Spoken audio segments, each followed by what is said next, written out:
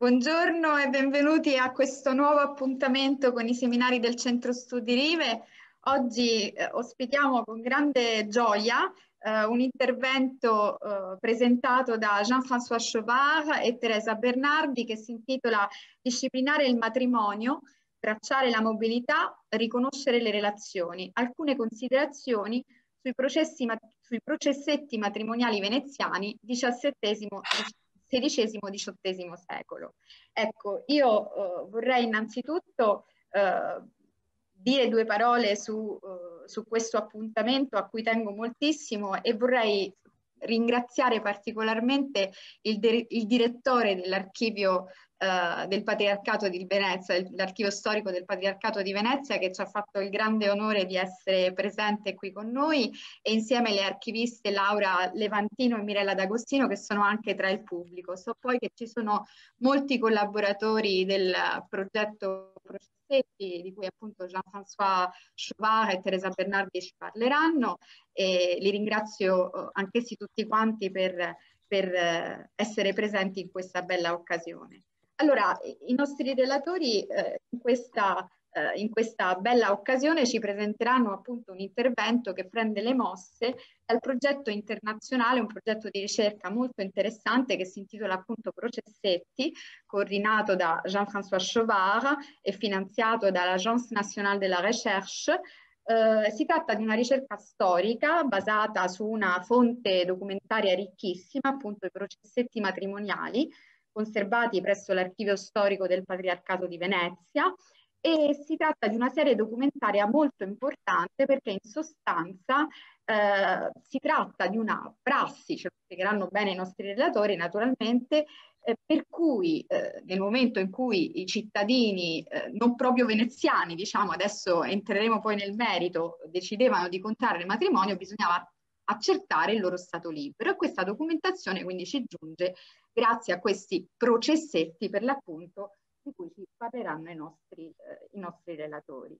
Eh, naturalmente la fonte costituisce il punto di partenza per una ricerca storica che ha vari obiettivi, eh, tra cui abbiamo appunto la questione della mobilità che poi è centrale eh, anche eh, nell'ambito del nostro, della nostra prospettiva, appunto Venezia e l'altro e quindi la presenza di foresti e stranieri in laguna eh, all'epoca del Rinascimento. Io non mi dilungo oltre, ma permettetemi di presentare innanzitutto i nostri relatori. Jean-François Chauvard è professore ordinario di storia moderna all'Université Paris Panthéon-Sorbonne eh, dal 2019 per l'appunto coordina questo progetto di ricerca molto importante che si intitola Processetti Mariage et Mobilité à Venise, XVI-XVIIIe eh, siècle, eh, in partenariato con il Laboratoire de Recherche Historique Rhône-Alpes, ma anche con l'Università degli Studi di Padova, l'Università di Atene e l'École Française d'Athènes e de Rome. Inoltre eh, Jean-François Schwar lo conosciamo tutti, non ha bisogno di presentazioni, è uno specialista e studia essenzialmente la storia dell'Europa mediterranea, eh, più, in, più, in, particolare la storia sociale dell'Italia urbana, eh, specialmente Venezia e Roma, e tra le più recenti pubblicazioni ricordiamo il volume Lié et délier la propriété, tutelle publique et administration des fideikommis à Venise au dernier siècle, eh, della République, eh, che, che, è uscito, se non sbaglio, nel 2018, e poi un articolo molto interessante che tra l'altro fa riferimento proprio alla ricerca eh, che Jean-François ci presenterà oggi, Le mariage entre grec et latin dans le monde vénitien, gouvernement des minorités, discorde confessionnelle et convergence procédurale, che è apparso in Annales eh, des monographies historiques nel 2018. Teresa Bernardi è invece assegnista di ricerca all'Università di Padova, è, è membro del Center for Advanced Studies in Mobility and Humanities, Dopo essersi laureata a Ca' Foscari in storia moderna e aver conseguito il dottorato di ricerca presso la Scuola Normale Superiore di Pisa, da settembre appunto collabora eh, come ricercatrice al progetto Processetti. I suoi interessi di studio sono a cavallo tra la storia sociale, culturale e legale e si concentrano principalmente sulla mobilità femminile e le pratiche di identificazione dei migranti nella prima età moderna.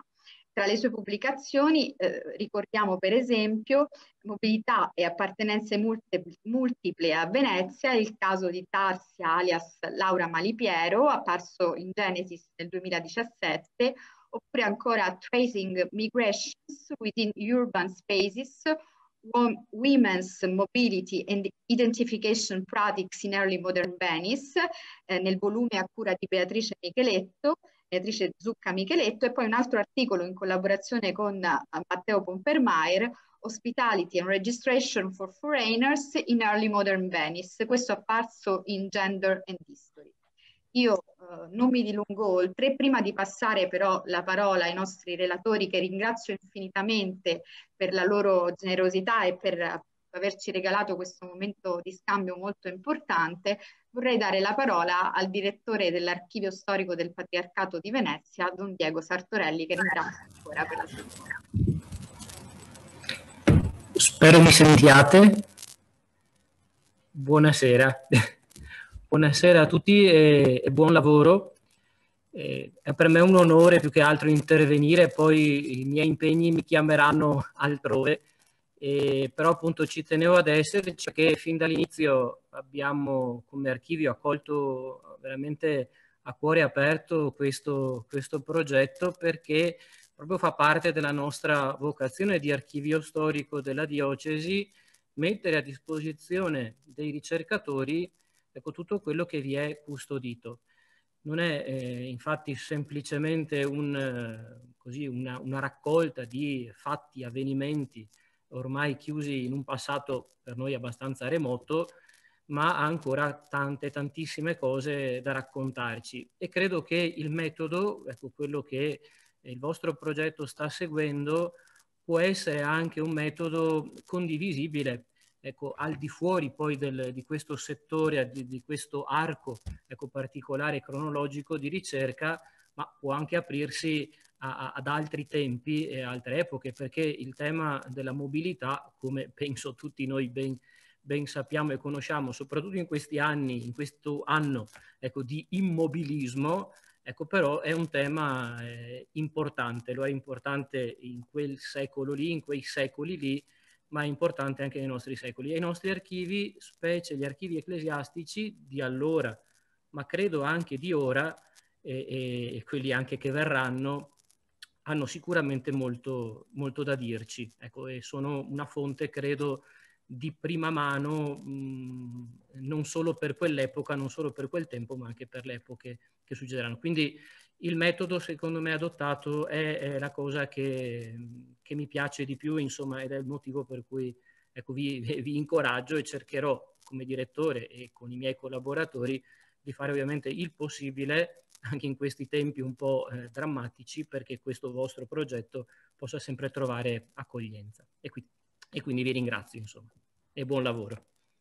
Siamo noi a ringraziarla moltissimo ancora una volta e io ci tenevo davvero molto che, che appunto eh, il direttore potesse rivolgere i suoi saluti perché insomma chi mi conosce poi insomma eh, penso lo stesso, penso di parlare anche a nome dei relatori, sappiamo quanto gli archivi siano per noi un luogo assolutamente prezioso e centrale nella nostra Uh, nella, nel nostro esercizio della professione e quindi è giusto che le istituzioni siano rappresentate vive e presenti anche quando ci appunto uh, poi uh, cerchiamo appunto di, di, di raccontare dove ci hanno portato questi archivi e che cosa è venuto fuori dalle nostre ricerche. Quindi grazie davvero a, al direttore, grazie a Laura e a Milena per essere presenti e non mi dilungo oltre, lascio subito la parola a Jean-François che se non sbaglio è il primo a intervenire. Grazie.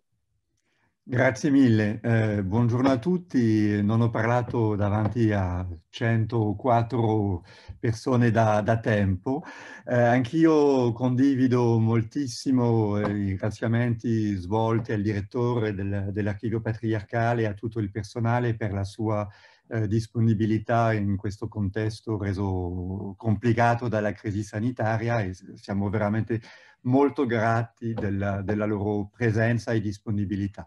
Eh, tengo anche a ringraziare Valentina Sapienza um, e il gruppo Rive per averci dato l'opportunità di, di, presentare un progetto in corso. Tengo alla parola in corso, quelli de, dei processetti che coinvolge diversi enti accademici di ricerca come è stato appena accennato, l'Università di Padova, di cui alcuni colleghi sono qui eh, presenti, ho visto passare Walter Panciera, eh, anche l'Università di Atene e le scuole francesi di, di Roma e di Atene eh, e anche l'Agenzia la, Nazionale della Ricerca che ha attribuito al progetto un finanziamento eh, non straordinario però eh, eh che consente di lavorare per eh, quattro anni.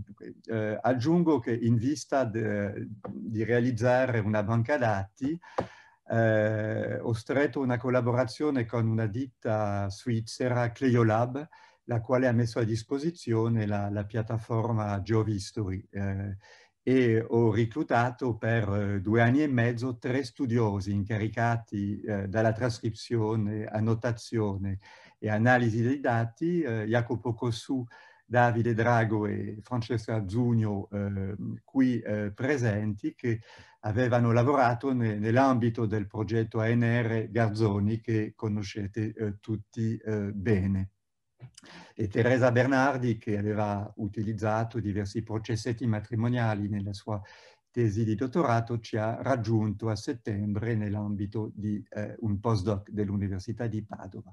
Dunque saremo due, lei e, e io, a prendere la, la, parola, ma gli esempi che, che daremo sono il, il, frutto di un lavoro collaborativo e colgo l'occasione per eh, ringraziare la squadra, la team veneziana come è chiamata, per la sua eh, competenza, il suo eh, impegno e anche il lavoro che ha, ha, svolto in sintonia con tutto il personale del, dell'archivio patriarcale. Dunque organizzeremo il nostro intervento in eh, tre parti. Inizialmente presenterò brevemente il quadro storiografico in cui si inserisce questo progetto e il contesto storico e normativo di produzione di questa fonte. In secondo momento metteremo in evidenza la complessità eh, della fonte e le categorie elaborate per strutturare i dati. E eh, nell'ultima parte accentreremo l'attenzione sulle domande di ricerca che si possono formulare a partire dall'analisi qualitativa e quantitativa dei processetti. In particolare eh, saranno analizzate le questioni che riguardano più da vicino la, la ricerca di Teresa Bernardi, ovvero la, la, mobilità femminile e il processo di identificazione personale in età moderna. Allora, eh, i processetti matrimoniali o eh, esamina matrimoniorum, a seconda del termine usato eh, nell'archivio patriarcale, sono delle indagini condotte eh, dalla curia episcopale per verificare eh, che i promessi sposi fossero celibi o, o vedovi. Questa procedura conduce al rilascio eh, di un certificato di stato libero che autorizza formalmente eh, la celebrazione del matrimonio. All'intersezione fra storia sociale e storia religiosa i processetti permettono di combinare eh, lo studio della disciplina del matrimonio con quello del controllo della mobilità, due campi di ricerca che sono tradizionalmente separati nella storiografia. Eh, Ermano Orlando, che conoscete bene, che ha scritto questo bellissimo libro eh, sulle migrazioni eh, dimostra che tra 4 e 500 la proporzione di stranieri era elevata nelle cause matrimoniali per bigamia. Eh, la mobilità effettivamente aumentava l'instabilità matrimoniale e stimolava al contrario tutte le unioni alternative. L'immigrato più che l'autoctono poteva dissimulare il suo passato e sposarsi di nuovo tenuto conto del debole rischio di essere scoperto. Ma all'opposto una lunga assenza del congiunto poteva essere un, un motivo legale per chiedere lo scioglimento eh, del matrimonio. I processetti matrimoniali rappresentano una componente della risposta della Chiesa Cattolica a questa sfida eh, alla fine del Cinquecento. È necessario tornare alle prescrizioni del Consiglio di Trento per capire meglio il contesto in cui i processetti sono inseriti. Per evitare le unioni clandestine e le seconde nozze eh, assimilate alla bigamia, il decreto Tamezzi eh, fiss, fissava delle mm, nuove formalità che conoscete bene, le tre pubblicazioni prima del matrimonio, la presenza eh, del prete per ricevere eh, eh, l'unione e la compilazione dei registri matrimoniali. Dopo il Consiglio la, la Chiesa impone ad ogni parrocchia la eh, redazione dei processetti matrimoniali in cui eh, contenuto poteva cambiare non solo da una diocesi all'altra, ma anche eh, nel tempo. Inizialmente si trattava di una sorta di dossier che il parroco costituiva per ogni coppia al fine di, di verificare che i nubenti eh, rispettassero i, i, requisiti necessari, l'età, il grado di parentela, eh, lo stato libero.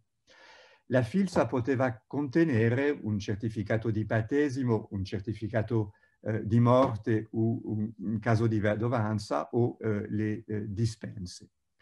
Più tardivamente, tra la fine del Cinquecento e l'inizio del Seicento, vengono aggiunti i certificati di stato libero concessi dalla curia vescovile dopo l'esame dei testimoni. Il termine di processetto matrimoniale tende a questa epoca a designare questa procedura specifica e è quella che stiamo eh, proprio studiando. A sua volta questa procedura eh, differiva da una diocesi eh, all'altra. Ad esempio a Napoli i processetti più vecchi risalgono alla fine de degli anni eh, 20 del Cinquecento. A Venezia vedremo agli anni 80 eh, del Cinquecento. A Roma eh, la serie archivistica inizia nel 1608, a Pisa o Livorno, a Livorno eh, al 1630 non, non, ci sono regole generali per definire le persone che, che eh, venivano indagate. A seconda di ogni diocesi il processetto era obbligatorio per tutti o solo per alcune categorie di persone, ad esempio eh, quelle senza una dimora stabile in città. A Roma e a Napoli esso toccava tutti, invece a Livorno eh, Pisa, lo Stato libero, veniva accertato so solo quando uno degli sposi era straniero. Quindi di fronte a una tale varietà di situazioni, è chiaro che l'idea di aggiungere alle pubblicazioni una procedura specifica per controllare lo Stato libero non emanava da un decreto della Congregazione del Sant'Uffizio di Roma, ma piuttosto da diverse iniziative sinodali che poi crearono un clima di emulazione tra le diocesi. Per quanto riguarda Venezia, il sinodo convocato dal patriarca Lorenzo Priuli nel 1592 diede un impulso alla sistematizzazione di una procedura che consisteva di fatto in una pratica occasionale già nel decennio precedente, come lo vediamo nelle filze delle cause matrimoniali in cui sono inseriti già processetti.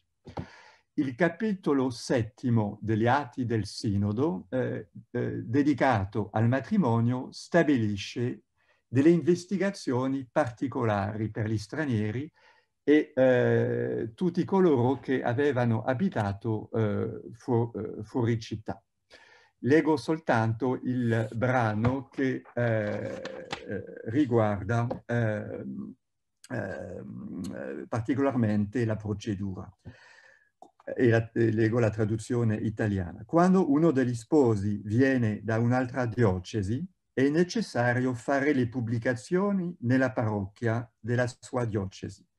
E quello che deve par, eh, portare la copia di queste pubblicazioni con il sigillo della detta parrocchia con l'attestato dell'ordinario. Senza questo il matrimonio non venga celebrato. Ma un po' più avanti si legge eh, accade anche eh, volta che i promessi sposi stranieri abitano entrambi a Venezia da anni, tanto che hanno stabilito la loro residenza in questa città.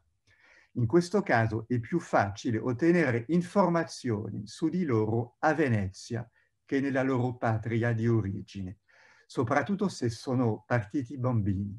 Di conseguenza, decretiamo che quando degli stranieri daranno la prova in presenza di due testimoni che hanno vissuto in modo continuo durante più anni nella nostra città e che hanno lasciato la loro patria senza nessuna, eh, nessuno legame, le pubblicazioni fatte a Venezia nella propria parrocchia saranno sufficienti e non saranno costretti a pubblicarne in un'altra diocesi.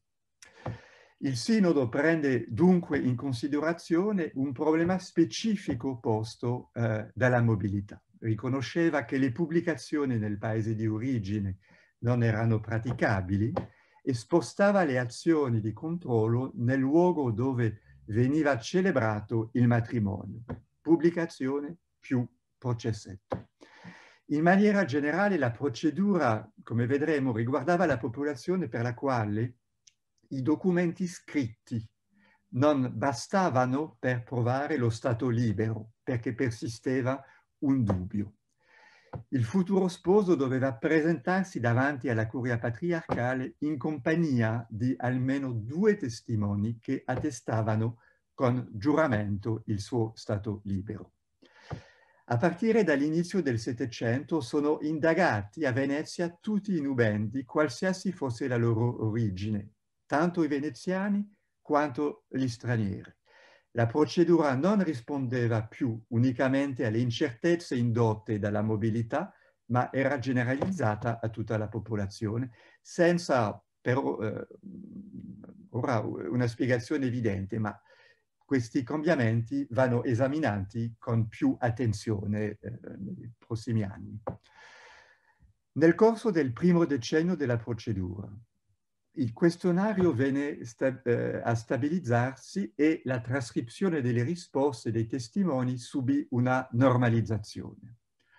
Questa standardizzazione è il segno di una routine amministrativa che si colloca un processo più, di, eh, un processo più ampio di burocratizzazione. Ci sono anche segni di acculturazione della procedura da parte dei fedeli che hanno assimilato la necessità eh, di produrre eh, attestati di battesimo, di morte, oppure certificati di stato libero stipulati in altre diocesi in cui avevano vissuto. Eh, il processetto di Giovanni di Felice, Marzer eh, Tautonico, fa esplicitamente riferimento al contenuto e allo scopo eh, della fede. Leggo un brano della testimonianza di Pietro Mater di Andrea, mercante Sabaudo, di giugno 1594, a proposito di Giovanni de Felici. Al paese non può essere maritato perché eh, porta qui una fede che s'usa a eh, eh, a fare delle qualità. È stato delle persone che si partano di là e danno conto particolare in quella se siano e non maridate. E in questa portata da lui è chiaramente specificata questa condizione. A partire dal 600 questi certificati, questi attestati erano spesso prestampati e poi compilati eh, a mano. Il loro riperimento richiedeva vere e proprie ricerche nei libri parrocchiali, eh, qualora si volesse che l'indagine eh, fosse condotta in maniera eh, scrupolosa eh, da parte eh, dei sacerdoti. nei primi decenni del Seicento fu avviata un'altra procedura nella quale la congregazione del Sant'Uffizio di Roma era sollecitata ad autorizzare la curia vescovile a ricevere il giuramento suppletorio del supplicante. Questa procedura eh, veniva applicata prevalentemente nei confronti di quelle persone che, pure disponendo di attestati scritti o di testimoni, non erano in grado di portare delle prove sufficienti del loro stato libero. Riguardava dunque gli stranieri di cui il percorso migratorio fino a Venezia era così complesso e spesso si era svolto fuori dallo sguardo dei testimoni rintracciabili in città. Una volta concessa la licenza eh, dal eh, Sant'Uffizio, aveva luogo la deposizione dei testimoni che era conservata negli stessi fascicoli eh, dei processetti matrimoniali. Avete sotto gli, gli occhi un esempio di questa eh, domanda eh, di eh, Cermento Supplitorio di un Leonardo spagnolo eh, di Perugia di metà Settecento che è in grado di produrre un, un attestato venivendo dalla sua eh, diocesi di origine dicendo che eh, non è stato sposato di là, però poi ha viaggiato attraverso tutta l'Europa, come avete visto eh, eh sulla pagina eh, precedente, è solo in grado di produrre un altro attestato, un'altra fede, ehm, di, eh, venendo da Roma, che era il suo ultimo suo, ultimo soggiorno in Italia prima del suo arrivo a Venezia. Però per tutto il resto del suo percorso attraverso l'Europa fino all'Austria non era in grado di produrre né testimoni né eh, fedi scritti. Eh, dunque il controllo dello Stato libero ha generato un'intensa circolazione di eh, certificati nel mondo cattolico eh, tra eh, parrocchie e curia vescovile, tra diocesi diverse e tra diocesi e Roma, eh, il Sant'Ufficio. A mo' di conclusione provvisoria sulla procedura, perché questo aspetto va indagato molto di più, vorrei rispondere a due eh, domande. Eh, prima domanda. Se i processetti rappresentavano una risposta alla sfida iniziata, iniziata da, dalla mobilità umana alle discipline matrimoniali, erano anche una norma in grado di cambiare la pratica della mobilità. Evidentemente non hanno frenato la mobilità. Hanno però hanno potuto indurre nuovi comportamenti da parte delle persone che avevano assimilato i requisiti della procedura di controllo. I fedeli erano coscienti della necessità di presentare testimoni in grado di evocare il loro passato, in particolare il loro passato migratorio. Avevano anche in mente l'obbligo di disporre di fedi di libertà e magari di anticiparne la richiesta da parte delle autorità ecclesiastiche nelle città eh, in cui eh, hanno eh, vissuto. Seconda domanda. I processetti hanno avuto eh, una certa efficienza nell'imporsi della disciplina matrimoniale stessa? Evidentemente costituivano un elemento di un processo più ampio di normalizzazione dei comportamenti matrimoniali. Ma è impossibile dire quanto questa pratica abbia contribuito a ridurre i casi eh, di bigamia e la Chiesa stessa era consciente dell'illusione di un controllo assoluto, così bene che ha accettato il principio del giuramento suppletorio. La procedura va tuttavia presa sul serio. Eh, la disciplina mirava a ricordare ai fedeli l'importanza spirituale del sacramento del matrimonio. I processetti fu, furono imposti dall'autorità ma non dobbiamo ridurli solo a una forma di controllo dall'alto. Davano anche dei diritti e in particolare il diritto di sposarsi in un luogo non sempre corrispondeva a quello di origine. Una volta portate le giustificazioni, del eh, proprio Stato libero. Ecco, mi fermo qui, riprenderò un po' più tardi la parola che lascio a eh, Teresa. Grazie. Dunque, colgo anch'io l'occasione per ringraziare di questo invito e dell'opportunità di parlare del, del, progetto e della ricerca che sto, che sto, intraprendendo. La seconda parte di questo intervento um, è frutto di un lavoro collettivo e ha come scopo quello di analizzare da vicino la fonte eh, di cui ci stiamo occupando, presentandone innanzitutto le, le caratteristiche formali. Arrivati a questo punto, eh, infatti, è probabile che qualcuno di voi si stia chiedendo che aspetto abbia un, un processetto, come sia strutturato e anche quali informazioni contenga. Eh, come anticipato vorremmo anche mettere in evidenza la ricchezza di questa fonte e le categorie eh, elaborate per strutturare i dati in vista di un'analisi seriale della documentazione. Tutto ciò eh, tenendo conto dei tre momenti di cui si parla nel titolo del nostro intervento, dunque disciplinare il matrimonio, riconoscere le relazioni e tracciare la mobilità. Al fine di indagare lo stato libero dei forestieri intenzionati a sposarsi eh, a Venezia e tenere sotto controllo le unioni matrimoniali, le autorità ecclesiastiche avevano stabilito una serie di domande da porre ai testimoni e di informazioni raccoglie, da raccogliere all'interno del fascicolo.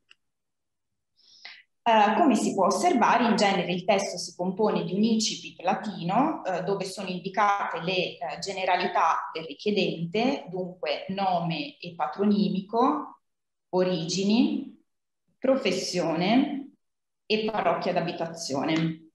Così come anche la motivazione che ha reso necessaria l'indagine matrimoniale. In questo caso si dice accostando un se non esse vincolo matrimoniali, quindi per verificare che non ci fosse stato un legame matrimoniale già in essere e che il richiedente abitasse eh, in città da almeno eh, 20 anni seguono la data del processetto e la trascrizione delle testimonianze precedute dalle informazioni eh, sempre in latino, eh, precedute e seguite eh, relative ai testimoni.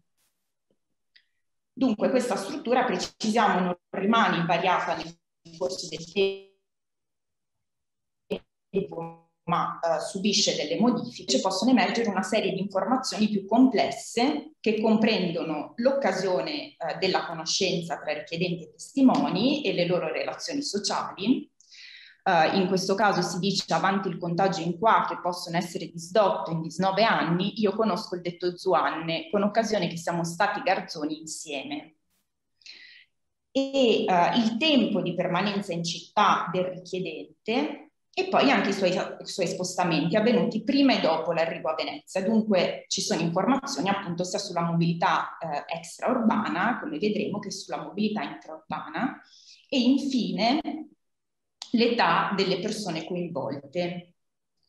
Partiamo dagli elementi che sono eh, facilmente identificabili e che possono essere qualificati eh, come strutturali perché presenti in tutti i documenti, come appunto le generalità dei richiedenti e dei testimoni. Lo strumento digitale che stiamo uh, utilizzando, il GeoHistory, permette di registrare in forma strutturata per ogni persona una ricca serie di dati. Tuttavia, come si può immaginare, eh, i testimoni non forniscono quasi mai delle informazioni omogenee sul conto dei richiedenti e i punti di riferimento temporali non sono sempre riportati con precisione cronologica. Per fare solo degli esempi, l'età uh, dei futuri sposi uh, viene generalmente indicata in maniera approssimativa e gli anni possono cambiare da una testimonianza all'altra, come si può vedere in questo processetto in cui il primo testimone uh, sostiene che il richiedente abbia 31 anni circa, mentre la seconda testimonianza, che è quella che vedete, che invece ne avesse dai 35 ai 36 anni. Uh, l'arrivo a Venezia inoltre può essere associato ad eventi significativi uh, per la popolazione dell'epoca, come l'incendio dell'arsenale, le pestilenze uh, oppure le guerre contro i turchi, che non vengono tuttavia quasi mai datati con precisione.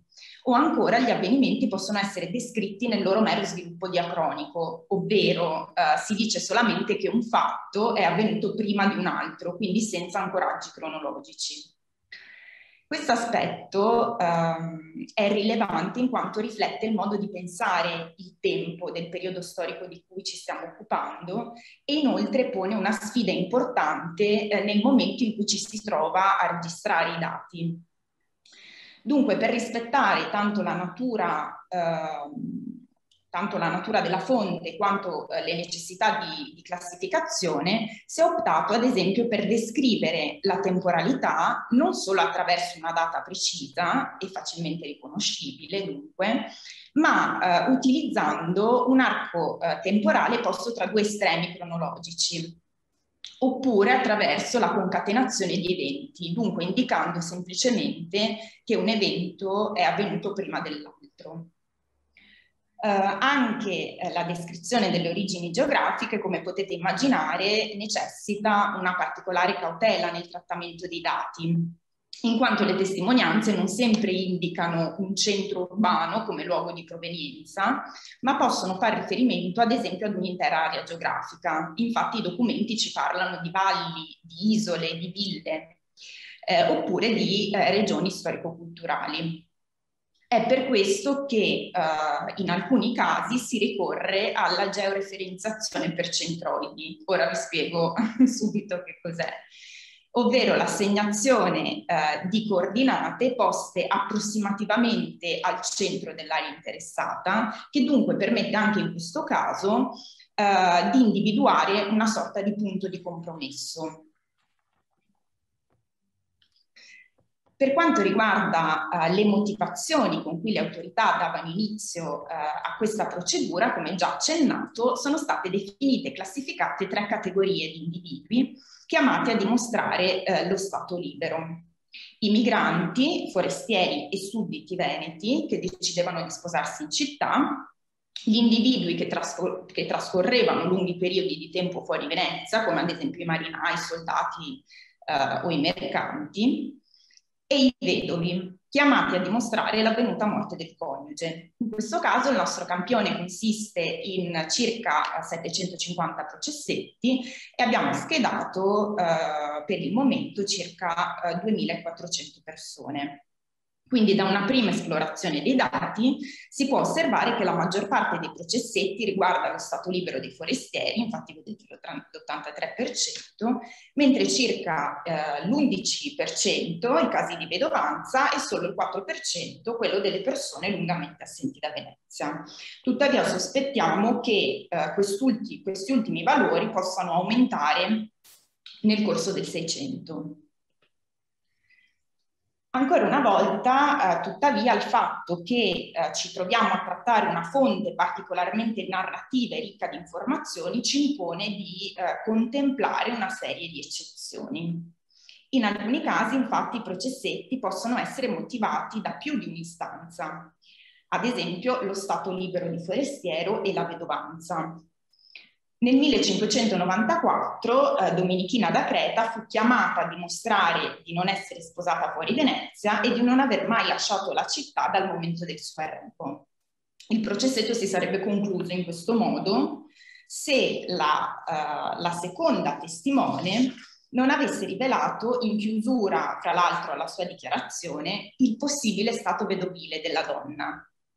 Come vedete, eh, evidenziato in rosso, ho ben inteso da detta donna meleghina che lei era maritata fuori al suo paese, ma che suo marito è morto, che non mi ha detto quando né dove. Questo fatto comportò la necessità di attestare anche la morte del marito attraverso un'ulteriore testimonianza rilasciata però solo sette mesi più tardi. Dunque la povera Domenichina dovette aspettare sette mesi prima di, mm, di potersi sposare. Um, quindi ripercorrendo il susseguirsi delle testimonianze si assiste ad una vera e propria evoluzione di quelle che noi chiamiamo le motivation types, le motivazioni, quindi da stato libero di foresto a vedovanza, senza che l'una finisca per escludere l'altra. Um, in altri casi invece il procedimento non riguarda né la vedovanza né lo stato libero dei forestieri, ed è questo il, il caso di Giovanni Galvani. Quindi sebbene il processetto si presenti nella sua forma usuale, quindi nella, con la struttura che abbiamo analizzato precedentemente, In realtà ad essere appurata in questo caso è la legittimità dei suoi natali. O ancora, eh, nella, un'inchiesta condotta nel novembre del 1598, che vedete sulla destra, aveva come finalità quella di appurare che il matrimonio di un certo Gregorio Maretti ed Elisabetta Ventura fosse avvenuto secondo i dettami del Concilio di Trento. Come soluzione a queste eccezioni abbiamo optato per registrare nella nostra piattaforma digitale, il GeoHistory, anche i casi che non sarebbero rientrati nelle tre categorie da noi individuate, creando un gruppo di processetti per comodo definiti atipici. La, uh, tutto questo per dire che la classificazione della tipicità risulta estremamente importante perché potrà garantire in futuro la possibilità di identificare delle nuove categorie di persone indagate dall'autorità ecclesiastica, permettendoci di intravedere i mutamenti della procedura nel corso del tempo. Ora eh, restitui, restituisco nuovamente la, la, parola al professor Chauvard che vi spiegherà eh, in che modo stiamo classificando le relazioni sociali e tracciando la mobilità.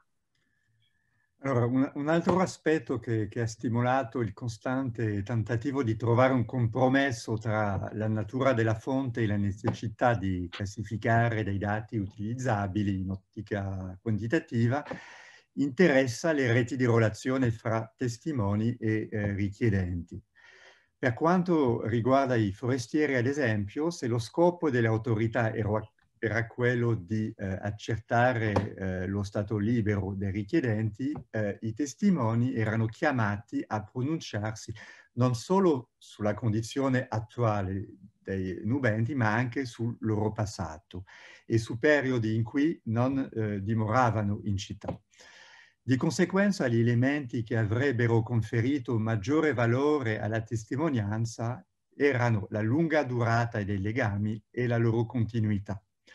Non a caso le relazioni maggiormente menzionate eh, dai testimoni eh, sembrano essere, come eh, eh è stato messo in evidenza in questo elenco, eh, l'origine comune eh, e la frequentazione professionale. E le due tipologie risultano spesso associate per giustificare appunto la continuità della relazione nel tempo. Nonostante questo, le categorie di relazione attualmente in uso sono non meno di 30 e comunque continuano a eh, sembrare insufficienti eh, e sono già eh, tanti. Potremmo anche raggrupparli perché eh, alcuni tipi sono abbastanza eh, vicini.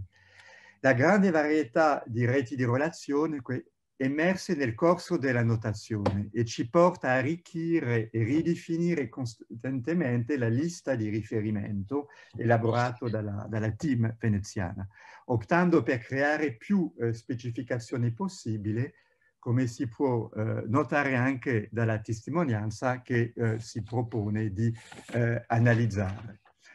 A partire eh, dalle dichiarazioni del primo testimone sul conto di eh, un certo Giovanni d'Antiga, tesser da pani di setta, è possibile eh, rintracciare e registrare una serie di relazioni che rimandano tanto al legame con il paese di origine, eh, Valmareno, quanto alla conoscenza coltivata a Venezia.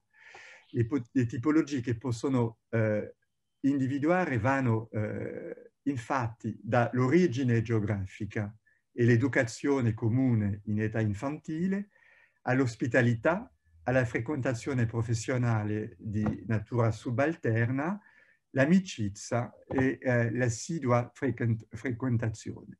Leggo. Eh, da piccolo in su io conosco il detto Giovanni perché siamo paesani il quale abita in questa città dal contagio prossimo passato in qua, che possono essere da 19 anni in circa, continuamente. È ben vero che egli è stato al paese diverse volte, ma per pochi giorni, e vi andavano di compagnia, di compagnia la maggior parte.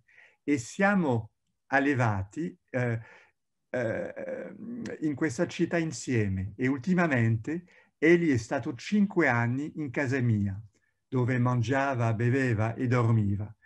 e vi lavorava come lavorante. E insomma io l'ho veduto ordinariamente in questa città. E tutte le feste siamo insieme. Eh, I processetti eh, presentano inoltre eh, una fonte eccezionale anche per quanto riguarda lo studio eh, della mobilità eh, e delle migrazioni. Nonostante la documentazione riguardi principalmente i migranti intenzionati a sposarsi, quindi la popolazione più stabile, giovane e meglio assimilata nelle attività economiche della città, questa fonte offre la possibilità di analizzare i fenomeni migratori attraverso eh, diverse scale di osservazione. Per quanto riguarda la mobilità extraurbana, stiamo registrando un'ampia casistica di spostamenti che riflettono la complessità dei percorsi migratori.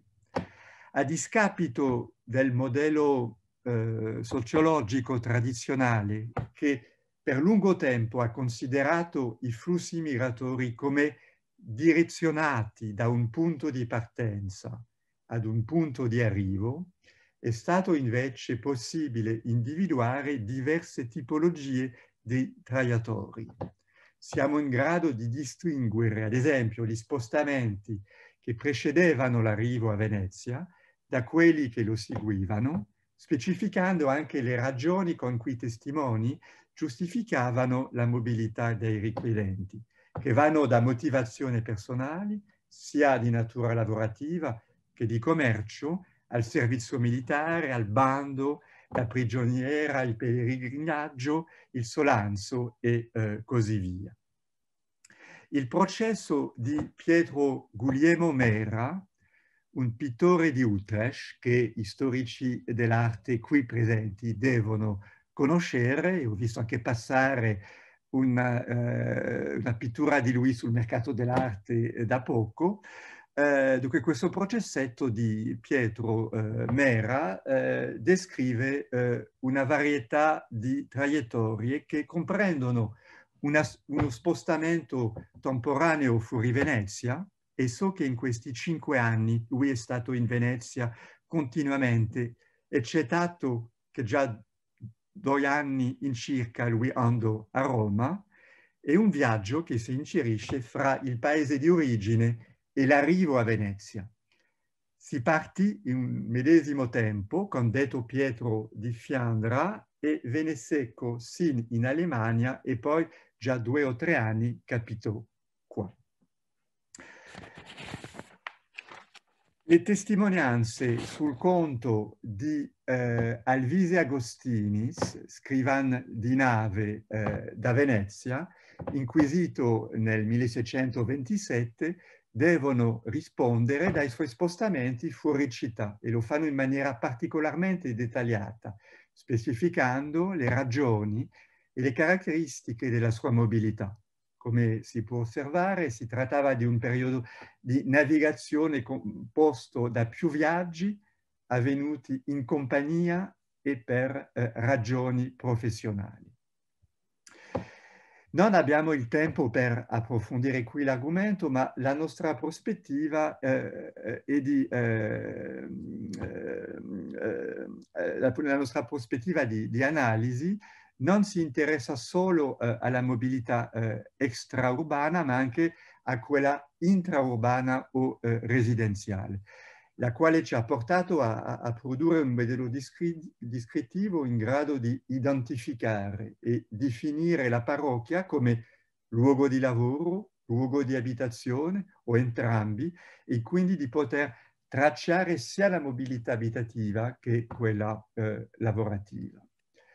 Eh, alla luce di quanto detto sinora si può sostenere che attraverso l'uso di questi testi, quando particolarmente descrittivi, è possibile far emergere veri e propri eh, spaccati biografici, che tuttavia eh, rischiano di fuggire nella loro interezza all'analisi seriale.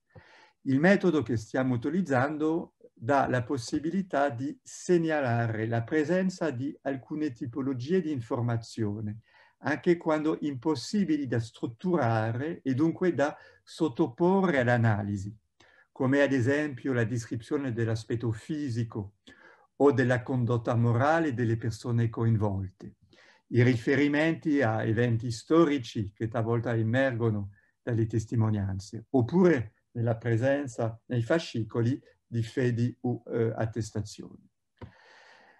Va infine ricordato che la fonte in cui ci stiamo occupando pone delle sfide all'analisi seriale eh, della documentazione anche da un punto di vista della costruzione narrativa. Trattandosi di testimonianze trasmesse oralmente e di testimoni scelti nella cerchia di conoscenza dei richiedenti, i processetti sono testi che eh, ne, ne, necessitano anche eh, di uno sguardo eh, ravvicinato, eh, motivo per cui il, il, progetto si propone di combinare eh, e favorire un'analisi di tipo quantitativo e qualitativo della fonte. Se eh, ci sofferma sul linguaggio delle testimonianze, infatti è possibile individuare quegli elementi in grado di conferire un valore maggiore alle attestazioni salta subito agli occhi, ad esempio, l'importanza di porre l'attenzione sul tempo di permanenza in città dei futuri sposi e ancora più sulla continuità abitativa. Se lo scopo dei processetti era quello di evitare le unioni illecite, le testimonianze avrebbero senz'altro sostenuto l'occasionalità eh, dei periodi trascorsi fuori Venezia. Così la stessa logica, la lunga durata e la continuità del legame fra richiedenti e testimoni, come specificato poco fa, avrebbe conferito un peso maggiore alle dichiarazioni di quest'ultimo. Finora eh, do un'indicazione un po' quantitativa del, de, dello spoglio e della notazione realizzato eh, la, la, team ha spoliato e annotato i processetti dell'ultimo decennio del Cinquecento e intendiamo, eh, se riusciamo a, a procedere, eh, intendiamo andare fino alla peste del 1630 e poi fare sondaggi ogni 20, 25 anni, prendendo in considerazione un numero molto più limitato di informazioni, tipo mestiere, origine o, o età, affinché eh, fare eh, comparazioni fino a, a metà eh, Settecento. Mi fermo qui e lascio la parola a, a Teresa per l'ultima eh, parte eh, di questa relazione. Grazie. Eh, dunque, dopo aver analizzato il contesto di produzione dei processetti matrimoniali e eh, aver introdotto le potenzialità dello strumento digitale che stiamo utilizzando, il mio compito eh, oggi è quello di soffermarmi sulle piste di ricerca eh, che l'analisi di questa fonte ha permesso di immaginare. La mia intenzione infatti non è eh, quella di fornire delle risposte, ma di mettere a fuoco una serie di interrogativi ehm, che, per, che, spero possano poi stimolare eh, il dibattito. Dunque, nell'ambito eh, di un ciclo di incontri che ha come tema Venezia e l'altro, eh, non posso che iniziare da una riflessione sui forestieri a cui questa pratica era rivolta. Come ha già sottolineato il professor Chauvard, per più di un secolo l'obbligo del processetto a Venezia non riguardò l'intera popolazione, ma soltanto alcune categorie di persone. Oltre ai veneziani vedovi, a coloro che avevano trascorso eh, un lungo periodo di tempo fuori città, abbiamo visto come la maggior parte dei richiedenti fossero forestieri, provenienti dai luoghi più disparati eh, ma per lo più dall'Europa del Nord, eh, dalla penisola italiana e eh, dai territori eh, dei domini veneziani, come potete eh, osservare in questa mappa. Contrariamente a quanto ho osservato studiando altri tipi di eh, registrazione dei forestieri, come la concessione dei permessi di soggiorno, i soggetti eh, dei processetti non provengono eh, necessariamente da altre giurisdizioni, ma possono essere anche sudditi veneziani.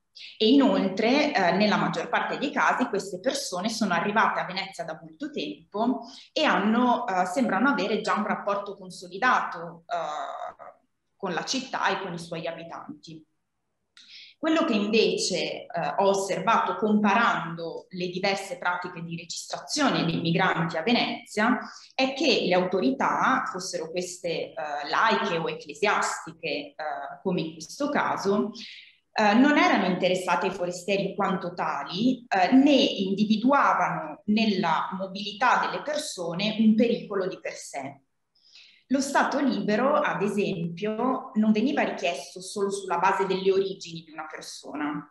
Quello che innescava il bisogno di identificare un individuo e di indagare i suoi spostamenti, come abbiamo visto anche dal testo del, del Sinodo, Uh, penso consistesse piuttosto nella mancanza di informazioni su quella tal persona uh, a livello locale alla luce eh, di un dibattito storiografico che ha messo in discussione il ruolo uh, delle origini nei percorsi migratori e uh, nell'ambito delle pratiche di identificazione dei migranti, questa fonte è in grado di uh, rafforzare l'idea che nel periodo storico che stiamo prendendo in considerazione e in una città fortemente plurale come Venezia, fossero le reti sociali e le comunità locali, ma anche diciamo translocali, all'interno delle quali una persona si muoveva, a contare maggiormente nella definizione di chi fosse o meno l'altro. Sarebbe interessante eh, verificare se le, de le, definizioni cambiavano nel corso del tempo e se le autorità si rivolgessero sempre alle medesime categorie di persone. Questo sarà possibile eh, studiando la documentazione sul lungo periodo e soffermandosi su alcune congiunture particolari, come ad esempio appunto i eh, periodi di pestilenza.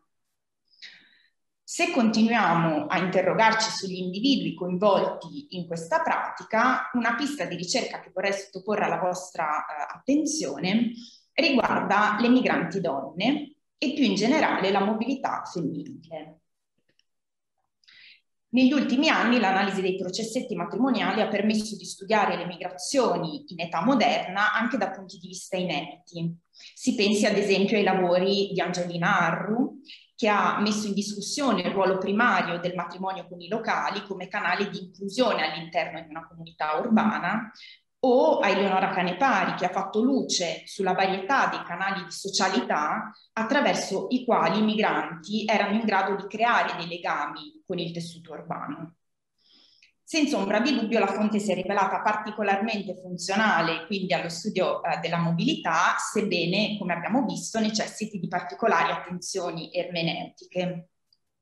Uno degli aspetti per cui questa tipologia di documentazione uh, si distingue in modo particolare um, consiste nella presenza massiccia delle donne e in particolare delle donne migranti. Parlo di presenza massiccia anche se, come vedete, i dati finora raccolti non mi danno del tutto eh, ragione. La presenza femminile consiste in un 15% fra richiedenti e testimoni.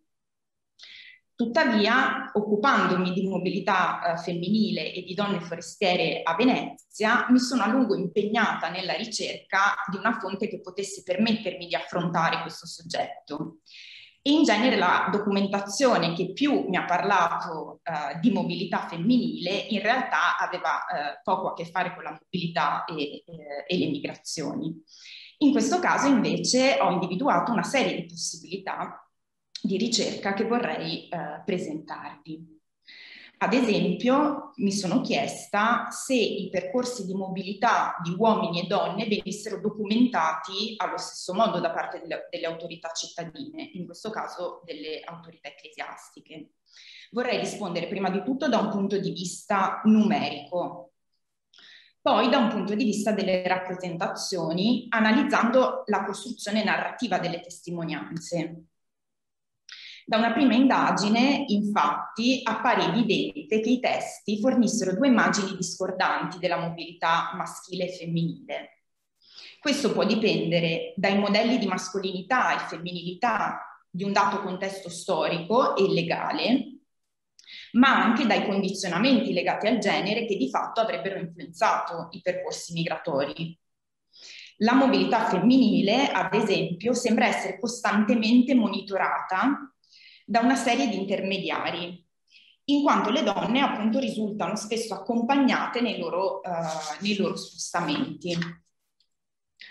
Uno uh, dei testimoni di Caterina, nel primo esempio, uh, una donna grigiona abitante a Venezia nella parrocchia di San Mosè, dichiarava appunto di averla condotta in prima persona nella città lagunare. E infatti dice mi l'ho condotta in queste parti già a 17 anni in circa, che allora poteva avere solamente 10 o 12 anni. E anche eh, nel secondo esempio, in riferimento alla richiedente, si dice venendo occasione al detto suo barba di andare in Francia, l'ha messa a stare in Camucenigo, dove al presente si trova. Né mai è andata in alcun luogo di questa città.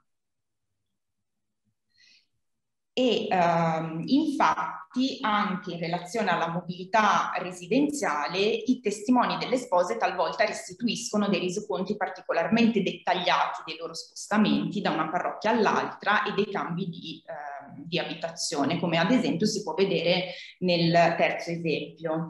E dopo che si partì da Mella andò a stare con alcuni laneri che li chiamano i baratteri a Sant'Agostino, quindi si precisa appunto anche la parrocchia, dalli quali essendosi partita andò a stare in casa di Messer Messer Gabriele Pogubel a Sant'Andrea. Quindi la tendenza a monitorare la mobilità femminile e a tenerne traccia soprattutto a livello eh, comunitario costituisce un tratto piuttosto comune anche in altre tipologie eh, di fonti. In questo caso, eh, tuttavia, abbiamo la possibilità di verificare questo aspetto attraverso l'esplorazione dei dati. Infatti, eh, come è già stato osservato, il Geovistori permette di descrivere eh, la mobilità e di distinguere, ad esempio, quando uno spostamento è avvenuto in compagnia o al servizio di qualcuno.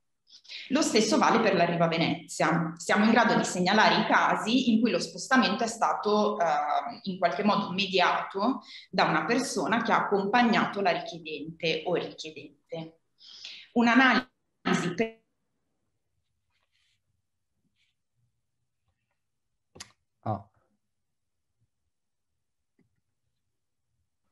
Siete qui? Piccolo problema tecnico, adesso speriamo si risolva.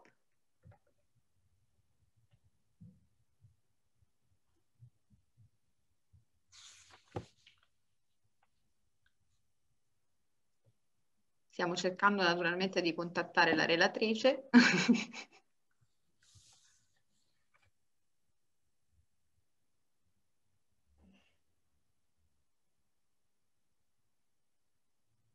Ecco, che si è giustamente sconnessa per cercare di riconnettere. Eccola qui, Teresa, ci sei. Blackout. Allora, scusate, provo a ricondividere. Non, non ti sento, Valentina.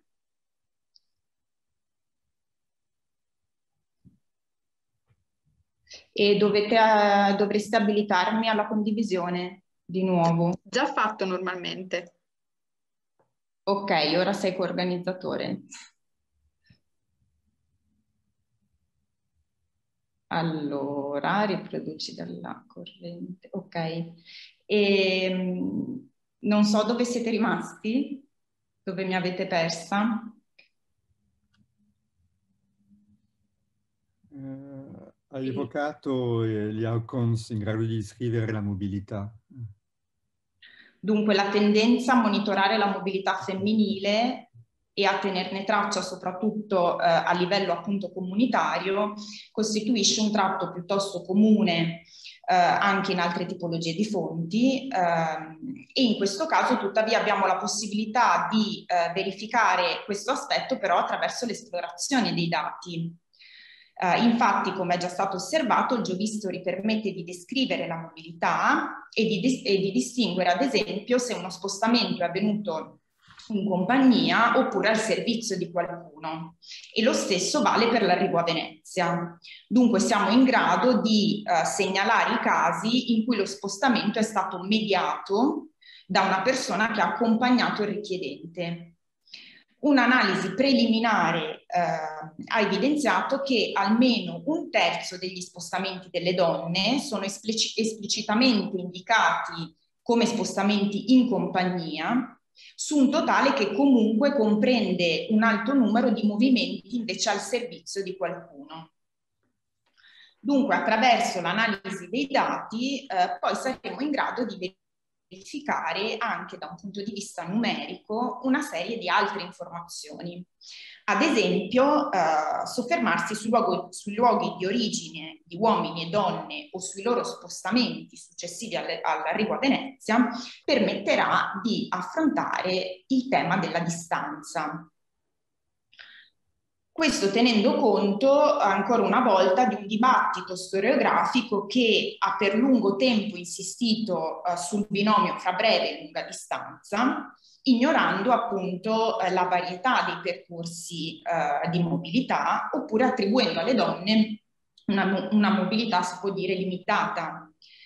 In realtà, eh, già a partire da un'esplorazione preliminare dei dati, si può osservare come, appunto, eh, numeri eh, a parte, i luoghi di origine di uomini e donne non discor discordino di molto. Vediamo nell'immagine di destra la, eh, le provenienze delle richiedenti, quindi anche se provenienti soprattutto dall'Italia settentrionale, eh, soprattutto dai domini veneziani, sia da terra che da mar, poi negli uomini vediamo invece appunto anche una delle provenienze dal, dall'Europa del nord. Ciò che probabilmente infatti farà la differenza sarà l'analisi dei percorsi avvenuti eh, in seguito all'arrivo in città. Si può già osservare infatti eh, che un'ampia varietà di spostamenti associati ai richiedenti uomini e la tendenza da parte dei testimoni eh, di eh, sottolineare la sedentarietà delle future spose come eh, elemento volto ad, avvalo ad, avvalorare l'attestazione di stato libero è un, elemento, una, un punto diciamo saliente delle testimonianze, tanto che Uh, i, i, testimoni spesso sottolineano il fatto che le donne non si siano mai mosse nemmeno dai confini della propria parrocchia Uh, cito, non è mai stata fuori dalla, della città che non ha neanche passato quei contorni dei frari. Uh, dunque l'analisi dei dati permetterà anche di mettere in evidenza le risorse economiche mobilitate uh, dalle donne. Per lungo tempo eh, le donne migranti sono state considerate come comprimarie dei percorsi di eh, mobilità, come soggetti al seguito dei propri mariti o parenti o addirittura forzate nei loro spostamenti. Si pensi ad esempio alla letteratura sulle, sulle rinnegate, sulle schiave o le serve in area mediterranea. Sono diversi gli studi recenti che hanno messo in discussione questo modello eh, migratorio, mettendo in evidenza anche le risorse eh, economiche utilizzate, eh, ma soprattutto condivise dalle, eh, dalle, donne. La ricerca appunto andrebbe in questa direzione, eh, dando una consistenza anche numerica a queste eh, nostre ipotesi.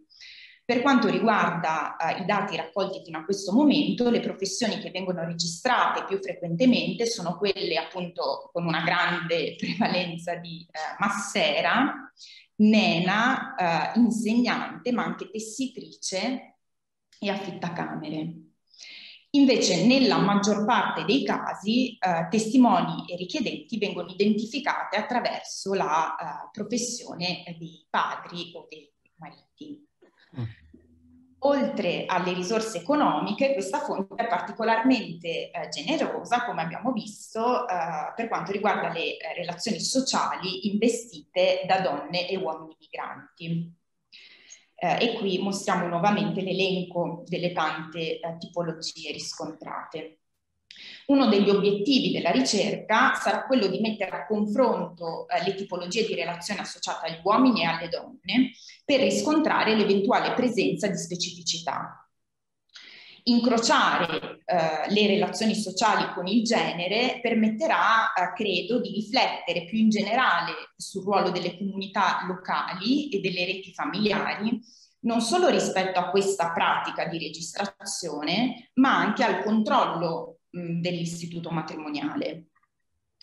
Quali relazioni erano più funzionali a testificare lo stato libero e come questo aspetto può cambiare in base al genere dei futuri sposi? Oltre a un'indagine uh, sulle specificità della mobilità femminile e maschile, l'analisi di genere permetterà di mettere in luce anche il ruolo uh, delle relazioni di genere nei percorsi migratori e viceversa.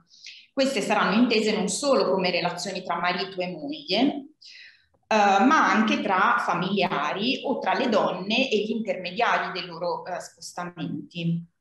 Per fare solo un, un, esempio, mi sto interrogando su quanto la uh, creazione o la rottura dei legami matrimoniali o prematrimoniali potesse costituire in qualche modo un incentivo allo spostamento, sia in termini appunto di migrazione sia di mobilità intraurbana, soprattutto per quanto riguarda le donne.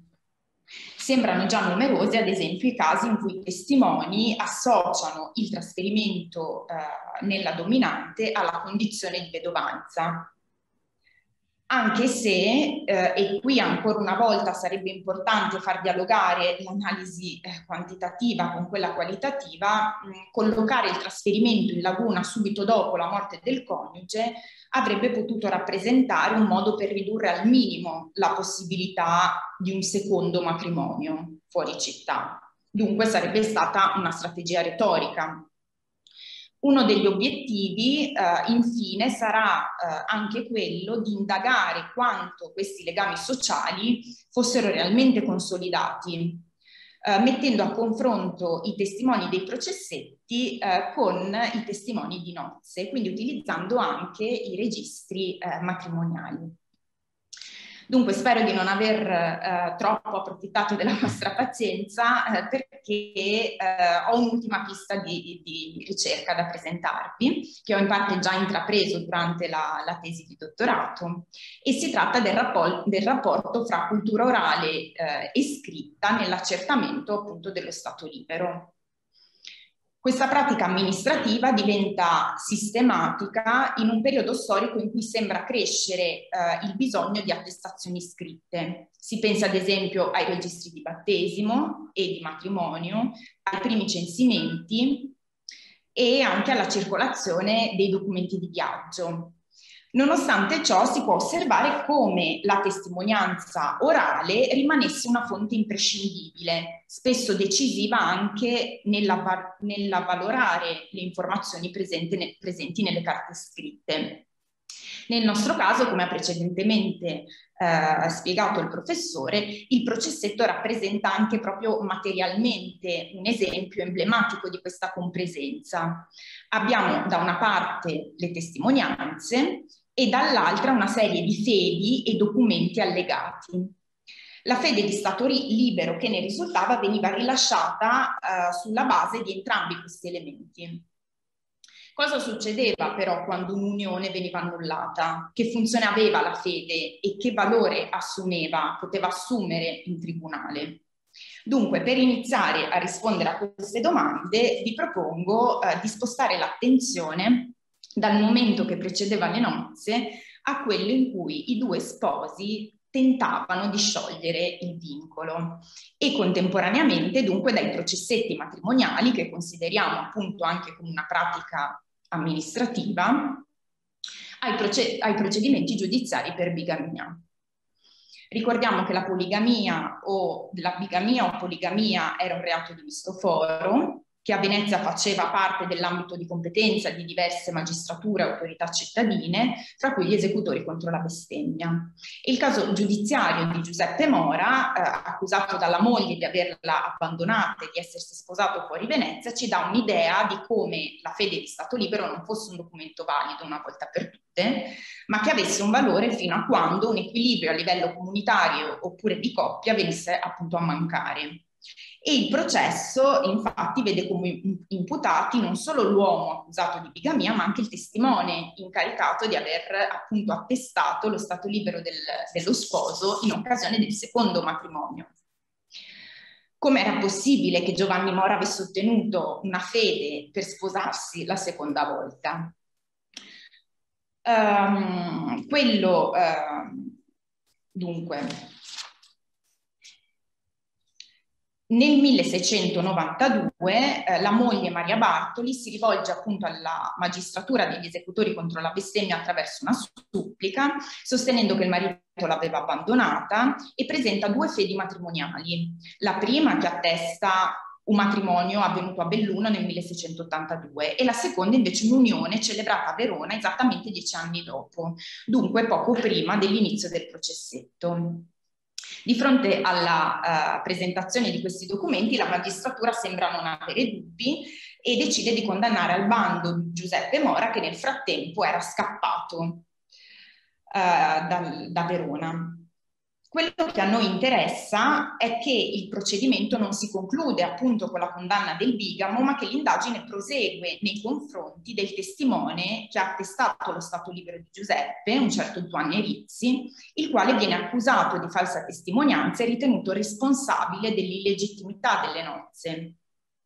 Quindi da questo momento in poi la fede di Stato libero proveniente da Verona viene messa in discussione proprio a partire dalla testimonianza trasmessa oralmente e da quegli elementi di cui abbiamo già discusso in precedenza che nella fase prematrimoniale avrebbero conferito maggiore credibilità ai testimoni. Gli esecutori, una volta entrati in possesso del processetto di Giuseppe Mora, riscontrano infatti una discordanza piuttosto eh, evidente tra eh, le informazioni fornite dall'imputato in sede eh, processuale e invece le dichiarazioni che aveva rilasciato prima del matrimonio. In occasione del processetto, infatti, Zuanne avrebbe sottolineato il rapporto di parentela con Giuseppe. G- dicesti nel tuo primo esame a Verona che avevi tutta la cognizione del predetto Iseppo, conoscendolo da piccolo in qua e poi anche la continuità di quel rapporto. Dicesti di essere stato 5-6 anni a Venezia insieme con detto Iseppo, che lui serviva a quel tempo e che tu imparavi in Venezia la professione del forno. Dunque, di fronte ai giudici secolari, invece, Zuanne fornisce una versione diversa del legame con Giuseppe Mora. Infatti, negando di essere stato suo parente, puntualizzando di essere stato a Venezia solo di passaggio, avrebbe in qualche modo giustificato il fatto che non fosse a conoscenza uh, dell'esistenza della prima moglie nel momento in cui attestò lo stato libero di Giuseppe. Possiamo confermare che la testimonianza orale rappresentasse quindi una fonte cruciale per avvalorare o confutare le informazioni presenti nel, nelle carte scritte. Quello di Giuseppe Mora non è un caso isolato, eh, diverse sono le carte processuali che attestano eh, il valore di prova della testimonianza rispetto allo stato civile degli individui. Uh, la mia intenzione è quella di continuare ad indagare l'utilizzo effettivo della, del processetto e il valore delle sue testimonianze Uh, questo anche a partire da altre tipologie di documentazione, come ad esempio le, case, le cause matrimoniali o i processetti per bigamia condotti dalle autorità cittadine. Un altro obiettivo sarebbe quello di comparare e far dialogare la documentazione presente a Venezia con quella prodotta in altre città dei domini veneziani. Dunque, per aggiungere un ultimissimo elemento alla riflessione sulla compresenza fra oralità e scrittura nell'utilizzo dei processetti di Stato libero e sulla centralità delle reti di relazione per quanto riguarda l'identificazione personale e la ricostruzione dei, dei percorsi di mobilità da cui siamo partiti, vorrei soffermarmi brevemente sullo Stato vedovile. Anche per accertare lo stato vedovile le autorità ecclesiastiche eh, si basavano su documenti scritti, come le fedi di morte, che venivano trasmesse anche da una località all'altra. Infatti diventava necessario accertare la morte dei coniugi defunti nel momento in cui il decesso avveniva fuori Venezia. Allo stesso tempo ci si basava su testimonianze sia de visu sia de audito, ovvero per sentito dire, come si può notare nel primo esempio. Un elemento che ho trovato estremamente interessante e di cui ho discusso in archivio eh, anche con il resto del gruppo qualche giorno fa consiste nel fatto che i defunti venissero identificati eh, anche in base alla descrizione fisica fornita dai testimoni e che i vedovi fossero riconosciuti come tali anche in base al loro abbigliamento. Infatti, vedete la descrizione nel secondo esempio, era più presto bassotto che altrimenti, non aveva ancora fatto barba, più presto grassotto che altrimenti e aveva capelli piuttosto biondi che neri. E poi ehm, appunto il, il, riconoscimento dello stato vedovile attraverso l'abbigliamento, quindi si fa spesso riferimento al fatto che i testimoni sanno che eh, un un, il richiedente è vedovo o vedova perché si veste eh, da corrotto, ad esempio. E, scusate, ho la batteria un po' scarica. E, ehm, dunque, un elemento che ho trovato estremamente interessante, di cui ho discusso in archivio qualche, eh, no, questo già lo dicevo, l'identità sociale dunque sarebbe stata registrata anche nella memoria comunitaria, non solo attraverso la parola scritta, ma per mezzo di comportamenti e gesti riconosciuti da vicini e conoscenti. Si tratta di quella che Raul Merzario definisce l'anagrafe orale e, e ringrazio per questo riferimento Alessandro Buono. Lo stato di vedovanza dunque veniva performato e reso visibile in funzione anche, forse anche di renderlo ufficialmente riconosciuto quando sarebbe stato necessario, come in occasione di un processetto. Questo ci dà la dimensione di quanto contasse per definire la condizione civile di un individuo la sua immagine pubblica, quindi la fama e il riconoscimento da parte delle comunità locali a cui apparteneva. Per lo stesso motivo si ipotizza che il bisogno di attestare lo Stato libero non riguardasse tutti i forestieri o i forestieri in quanto tali, ma coloro che a causa della mobilità rendevano difficile accertare la loro identità sociale, tanto sulla base dei documenti scritti appartenenti ad altre diocesi, eh, quanto sulla base di reti di relazione non sempre possibili da ricostruire. Dunque avevo detto che eh, avrei presentato delle domande invece ho avuto modo di formulare eh, anche qualche risposta, quindi mi piacerebbe eh, cogliere questa occasione per discuterne con voi. Grazie.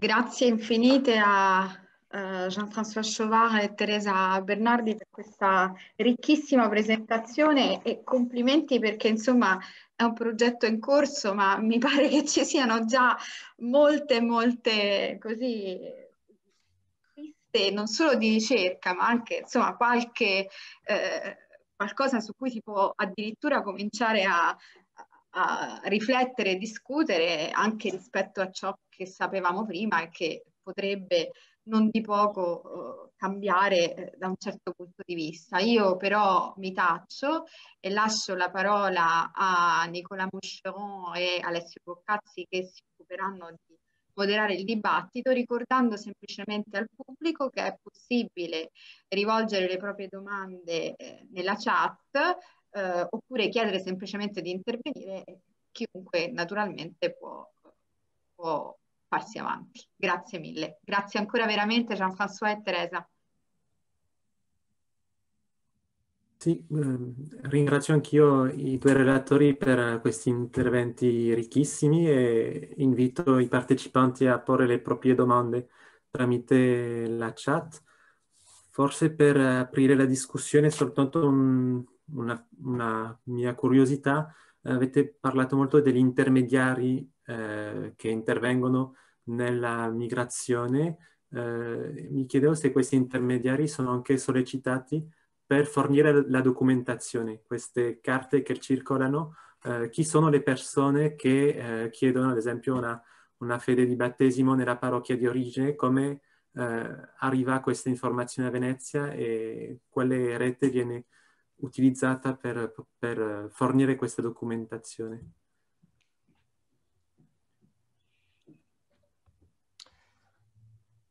Do una risposta, ma, ma poi eh, Teresa anche la, la, la team può eh, intervenire perché loro hanno una padronanza di, dei, dei processetti ben migliori di me a, a questo punto. Ehm, eh, se mi ricordo bene abbiamo alcuni esempi di richiedenti che eh, sono tornati eh, appunto al paese per chiedere eh, una fede. Eh, spesso è indicato mh, nel processetto eh, i ritorni al paese, che è un elemento molto interessante perché è indicato anche la, la, la durata e, e, la frequenza eh, elementi difficili poi da strutturare, però spesso è, è, indicato. E uno dei motivi del ritorno al paese è appunto eh, la, la, la, domanda di eh, una fede che portano eh, dopo a, a, a Venezia. Eh, non ho in testa esempio di un, un intermediario che, che porterebbe questo, tipo di documentazione, eh, non so se, se, si può anche eh, mandarlo tramite posta, eh, è un documento che si rilascia direi al, al richiedente da mano a mano, eh, per, anche per evitare eh, le falsificazioni. Però possiamo, immagino, trovare eh, anche casi di persone che svolgono questo ruolo di intermediario quando fanno il viaggio dal paese di origine eh, a Venezia. Però non ho eh, in mente un esempio preciso, non so se, se Teresa, Francesca, Davide o Jacopo, Jacopo vogliono aggiungere sì. qualcosa, una precisazione. Dunque, eh, sì, mh, mm, sono d'accordo mm, col fatto che appunto questi documenti si passassero di mano in mano e in genere si contattavano anche le autorità locali ehm, che eh, provvedevano poi a trasferire questa documentazione. Sui tempi non siamo, eh, non siamo informati, nel senso che la fonte non specifica una, una tempistica.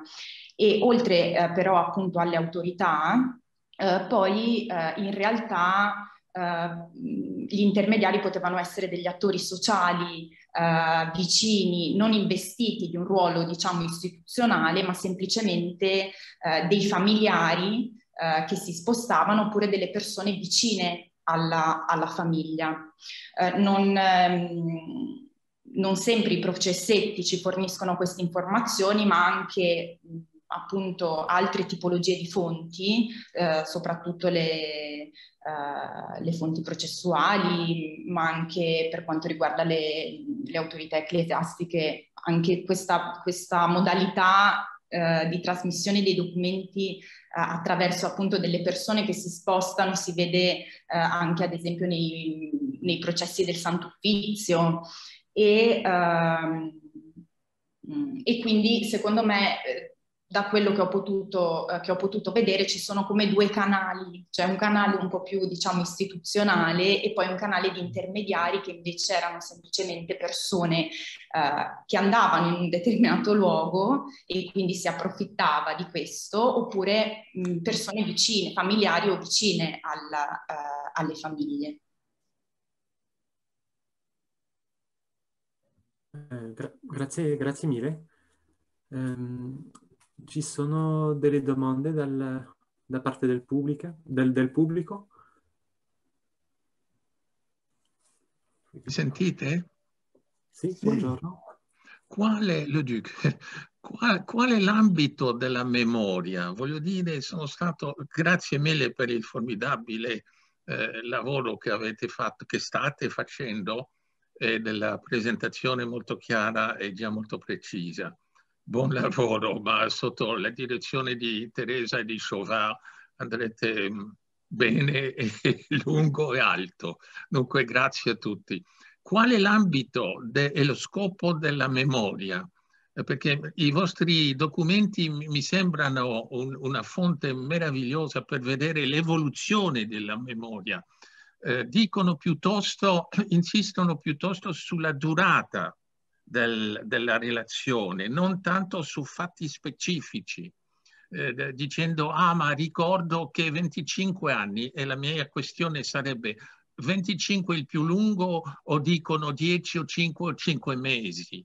Faccio un paragone con un testimonio che avevo visto della duchessa Caterina Corner, eh, duchessa di dogaressa del Mario Corner alla fine del 400, eh, dice, ah ma lui è morto 25 anni fa in una questione di lite naturalmente sul testamento. Lui è morto 25 anni fa e forse lo dice per mantenere la, la pace familiare, 25 anni fa e non ne ricordo più niente, è troppo lungo. Avete l'esempio di questo tipo? La natura della loro memoria e lo scopo della loro memoria mi sembrano eh, differenti de, di questo, eh, di, di, della mia esperienza. Sarebbe molto interessante eh, eh studiare, la, sono troppo lungo, la, la, la costruzione della memoria. Chauvard, vous m'excuserez. Gra grazie, grazie, tanto, mi fa piacere uh, vederlo. Uh, no, risponderò in due parole. effettivamente tramite processetti si può studiare la percezione quasi antropologica del, del tempo a quest'epoca, sì. come rendere conto del tempo tanto eh, della durata, del tempo che passa, della profondità temporale, quanto eh, degli eventi. Eh, e quando si tratta di fare riferimento eh, a, eh, un, a un momento, non si usa mai una data, ma si colloca questo momento a un evento, ad esempio la peste, come abbiamo eh, detto, la, la, guerra contro i turchi, eccetera. Il, il momento è eh, collegamento a un evento.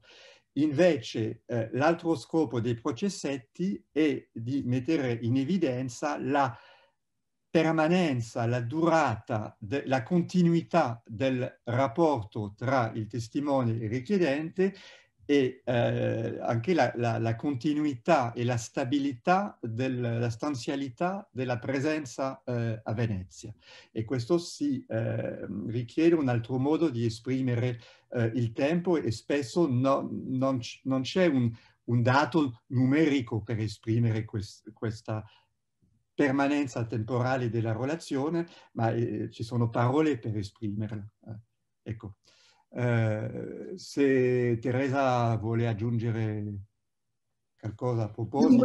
La, sì, la ringrazio moltissimo per le osservazioni perché sarebbe in, in effetti molto interessante verificare se Uh, ci fosse una regolarità anche nel citare determinati um, anni, quindi appunto 15, 5, ci sono degli anni che si ripetono in effetti, però questa è una cosa che dobbiamo che dobbiamo ancora diciamo, verificare, cioè se ci, fosse, se ci fossero diciamo, dei, uh, degli archi temporali uh, particolarmente significativi. Per quanto riguarda il fatto che i testimoni non ricordino delle informazioni, anche questo uh, ricorre, ci siamo diverse volte confrontati anche su questo, cioè sul fatto che a volte um, eh, appunto ci sia questa quasi come se fosse anche una formula oltre che una strategia, cioè del fatto di dire di non ricordare. E, ehm, però anche questo è uno spunto interessante che, che sicuramente vale la, pena, vale la pena di approfondire. E invece per quanto riguarda eh, la memoria in relazione ai documenti, è interessante che queste fedi di Stato libero in realtà non fossero sembra che non fossero fatte per essere conservate, quindi che invece rappresentassero proprio dei documenti che eh, le persone si scambiavano di mano in mano e infatti e questo si riflette anche nella, nel modo in cui sono state eh, conservate. Eh, che appunto non, non, segue poi la, la raccolta e l'andamento dei processetti e a volte si trovano delle fedi uh, in, veneziane in archivi uh, di altre città e viceversa. Uh, questo volevo mh, mm, semplicemente dire questo, grazie. Grazie a lei. Allora abbiamo una curiosità della professoressa, professoressa Sapienza adesso, prego. Grazie Nicolà. Eh, io sono, a parte che davvero ho moltissimo apprezzato la vostra presentazione, ma ehm, avrei, avrei, una curiosità che eh, si, si, rifà un po' alla, alla questione che, eh, perdonatemi, mi sentite ancora perché non mi vedo più, eccomi qua. Okay, scusate, eh, che si rifà a una delle questioni affrontate da Jean-François nel suo intervento, cioè in sostanza la sistematizzazione della fonte, il momento in cui piano piano questa fonte assume una struttura amministrativa, eh, per, cioè diventa prassi amministrativa e quindi assume una struttura consolidata. Allora mi sono chiesta, visto che mi pare chiaro che eh, i testimoni siano quantomeno informati, se non addestrati, se eh, così andando avanti negli anni anche i testimoni, come dire, imparino a testimoniare in un certo senso. Questa è una, eh, una, sì, un punto di osservazione che mi pare interessante, anche perché noi storici dell'arte che abbiamo ogni tanto utilizzato questa fonte, abbiamo prestato grande fede a ciò che è scritto spesso su questa fonte, no? Quindi sarebbe importante cercare invece di interpretarla correttamente. Grazie. Um, grazie Valentina. Um, hai assolutamente ragione. Eh, nei primi anni, come nel corso dei 600, c'è sempre il filtro del, del notaio, della curia, che, che, raccoglie e poi consegna eh, per scritto eh, la testimonianza orale. I processetti dei primi anni sono, dal, punto, dal mio punto di vista, i più interessanti perché i più eterogenei, eh, i più ricchi, eh, anche dal punto di vista eh, narrativo e si sente pure la, la parola viva del, dei, dei, dei testimoni. Ma anche in questi anni ritroviamo spesso alla fine della testimonianza le stesse parole che tornano, lo stesso vocabolario, anche quando il, eh, il notaio eh, ascolta direi, la, la, la, parola che, che, che, sente e prova a, a, a trascriverla, eh, usa eh, il suo proprio vocabolario, le sue proprie categorie, non abbiamo mai una trascrizione esatta della testimonianza. E, eh, è tanto più vero quando nel eh, corso del Seicento dipende anche del, del vicario che, che, che, che, conduce il processetto, eh, la trascrizione eh, indica precisamente le domande, le 5, 6 o 7 domande e eh, la risposta è spesso molto breve nel corso del, del, del 600. Invece nei primi registri abbiamo una più grande ricchezza, ma comunque tramite il, il, il, il filtro del, del, del, del notaio, dell'istituzione. Grazie mille Jean-François. Darei eh, adesso la, la, parola a Maria Adank che avrebbe una domanda. Buongiorno. Sì, intanto ringrazio anch'io per uh, la presentazione. È un, veramente un lavoro molto stimolante quello che, che state facendo, davvero grazie. Ho due curiosità. Eh, la prima eh, si riferisce a una delle ultime cose che sono state dette da Teresa, e cioè eh, l'elemento dell'abito. E mi chiedevo se soltanto nel caso della vedovanza che ci sono dettagli sul vestiario o anche in altri casi. E questo mi interessa molto. E poi una, un'altra curiosità invece di altro tipo è se c'è una qualche relazione tra ehm, le testimonianze e anche da un punto di vista della, della, legge, di quello che state studiando voi e quello che invece le prove di nobiltà che aveva studiato Alexander Cowan. Ecco, grazie. Teresa, re, rispondi tu, eh, o almeno alla prima parte, eh, se vuoi. E dunque, mh, per quanto riguarda uh, gli abiti, uh, io li ricordo soprattutto in relazione alla vedovanza e poi invece una descrizione fisica, quindi non dell'abito in relazione al, mh, mm, eh, anche qui alla vedovanza, però alla, alla, persona, al coniuge defunto, diciamo.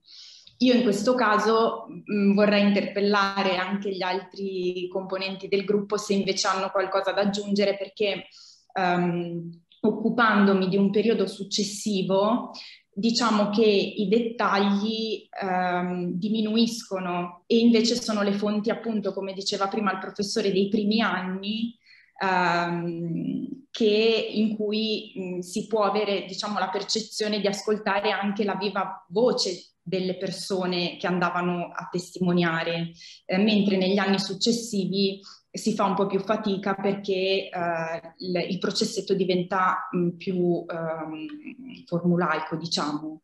Eh, se, quindi um, chiedo l'aiuto per questa domanda, se, se qualcuno dei, degli altri componenti del gruppo ha notato nelle descrizioni fisiche dei primi anni Comunque volevo chiedere il favore a Valentina, ma ne ha preso da, da sola l'iniziativa, di, di, di, eh, di, poter fare un saluto. Io, io ogni tanto lo faccio, ogni tanto, ogni tanto tiro dentro. Francesca, Davide, palesatevi. Jacopo, palesatevi. Sì, pronto. Sì, Francesca? Sì, no? non mi faccio vedere, scusate perché non, non pensavo di dover intervenire, quindi ah, no, no, sono in una condizione, una stanza un po' disordinata. Ehm, allora, io mi ricordo, dopo magari interviene Jacopo. No, non ti, non, ti, vediamo. Vabbè, devo proprio. allora, start video, ok, ecco. così. Ecco. Mi sentite? Sì. sì. Okay. Io mi ricordo Jacopo, magari poi può intervenire, aveva trovato, oh, mi sembra un richiedente vestito alla tedesca, veniva descritto così. Io invece ho eh, trovato da, da poco un processetto di vedovanza in cui il testimone eh, dichiara di eh, non aver mai visto in volto la, la, moglie defunta, la coniuge defunta, perché eh, era originaria della Siria eh, e là le donne costumano sono solite appunto eh, andare in giro coperte senza lasciarsi vedere, quindi questo è un altro magari riferimento al vestiario e sì, più che altro non tanto della singola persona quanto magari della, della cultura, ecco, del paese d'origine. E del resto no, no, no, sono, sono soprattutto, come dice Teresa, legate a, allo stato vedovile. Grazie Francesca. Jacopo, vuoi aggiungere qualcosa? Grazie Francesca. Sì.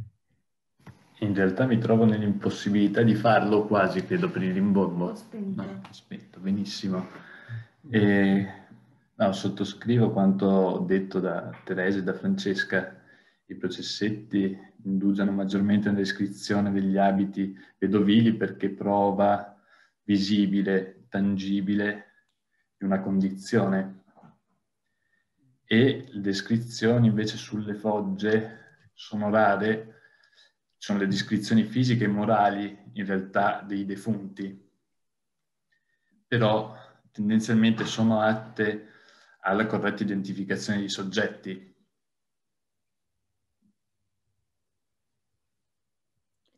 Comunque tutte queste informazioni, come dicevo prima, ab- mh, abbiamo modo di raccoglierle, non di strutturarle come dati, ma di di segnalarle come eh, ad, ad, esempio informazioni diciamo di rilevanza storica quindi ci sarà poi la possibilità di, uh, di studiarle, di riprenderle. Le stiamo, ecco, le stiamo segnalando.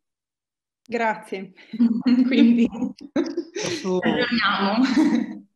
Eh, torno alle, alle, alle, prove di nobiltà, perché le, eh, è una domanda interessante perché eh, nei processetti non sono presenti tra i richiedenti eh, i nobili o eccezionalmente.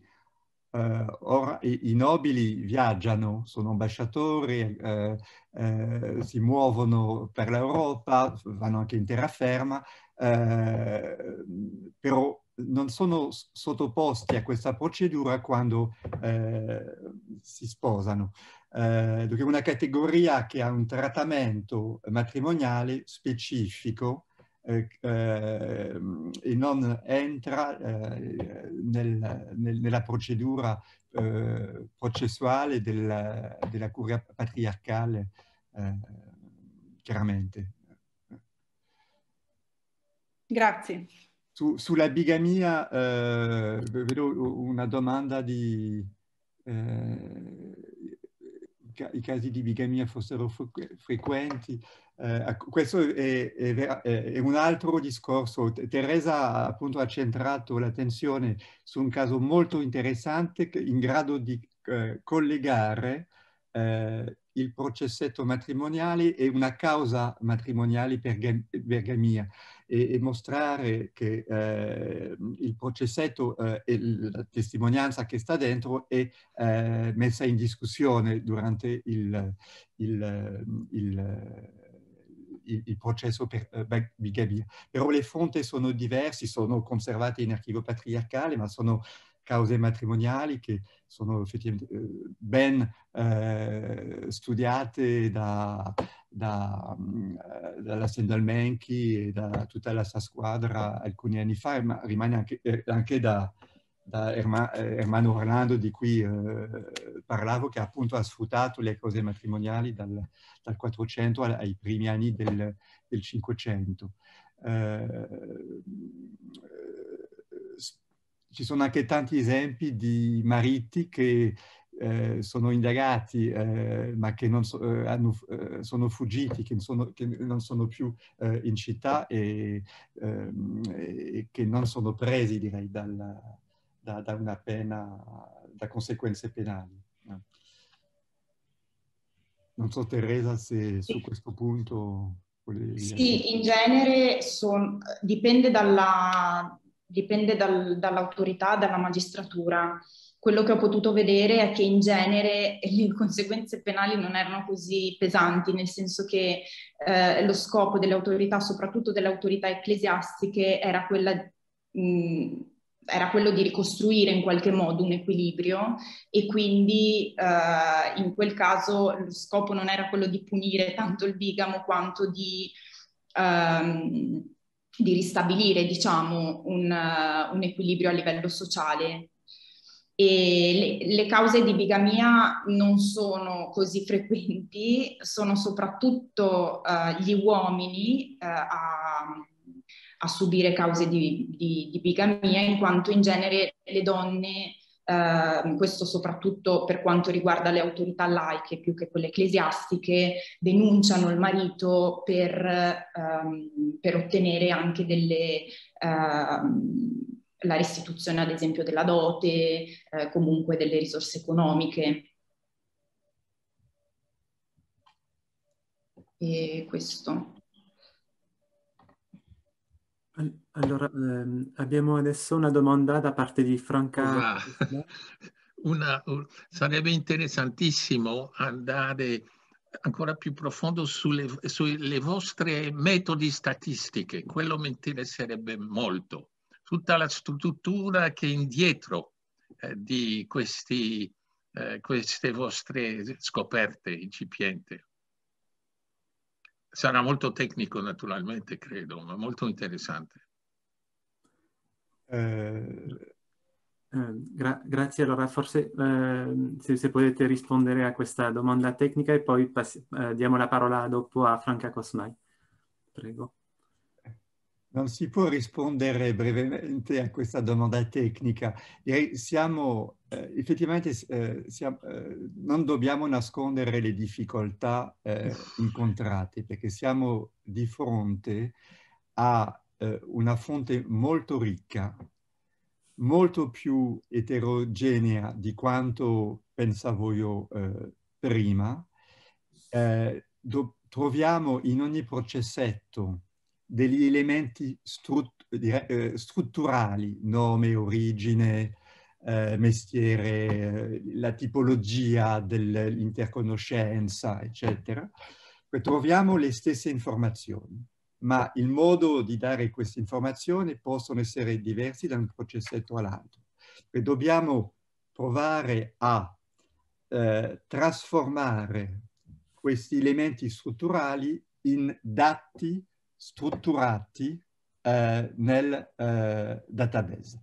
E eh, questo sforzo ha richiesto, con l'aiuto della del, ditta Cleolab, eh, direi sei mesi di, di, lavoro e un impegno eh, colossale da, da parte da, della squadra eh, veneziana che era proprio lei a, di fronte alla fonte che, che eh, di, aveva dei problemi per passare direi dalla trascrizione alla eh, strutturazione dei, eh, dei, dati. Questo esplicando direi la, il, il, problema metodologico senza eh, darla direi un'esemplificazione ehm, eh, concreta, ma eh, l'elenco delle, delle, della, della, tipologia delle relazioni è il frutto di un confronto permanente tra la fonte e la necessità di costruire mm. delle categorie stabili.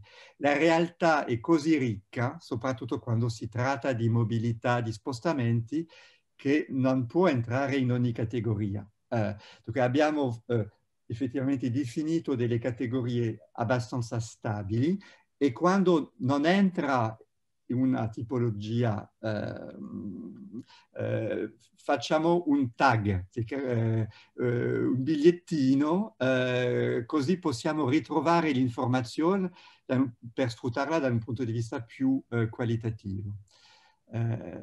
Boh, avremo modo di mostrare, direi, Cleolab, non, so, non abbiamo il tempo qui di entrare proprio nel merito di, del, del, database che ha richiesto veramente uno sforzo da, da parte del, del, de, degli studiosi che hanno fatto prima la trascrizione, il motivo per quale è andato abbastanza lentamente, poi hanno costruito direi, la, le diverse categorie di annotazione, hanno fatto l'annotazione nel testo, poi c'è una terza fase di controllo dei dati che si può fare tramite la piattaforma GeoHistory e vi abbiamo dato esempi, una mappa, un grafico a partire di GeoHistory, però non si tratta veramente di un'analisi eh, strutturata dei dati. Questa tappa, che è l'ultima, eh, va iniziata nei eh, prossimi mesi e richiede una programmazione specifica.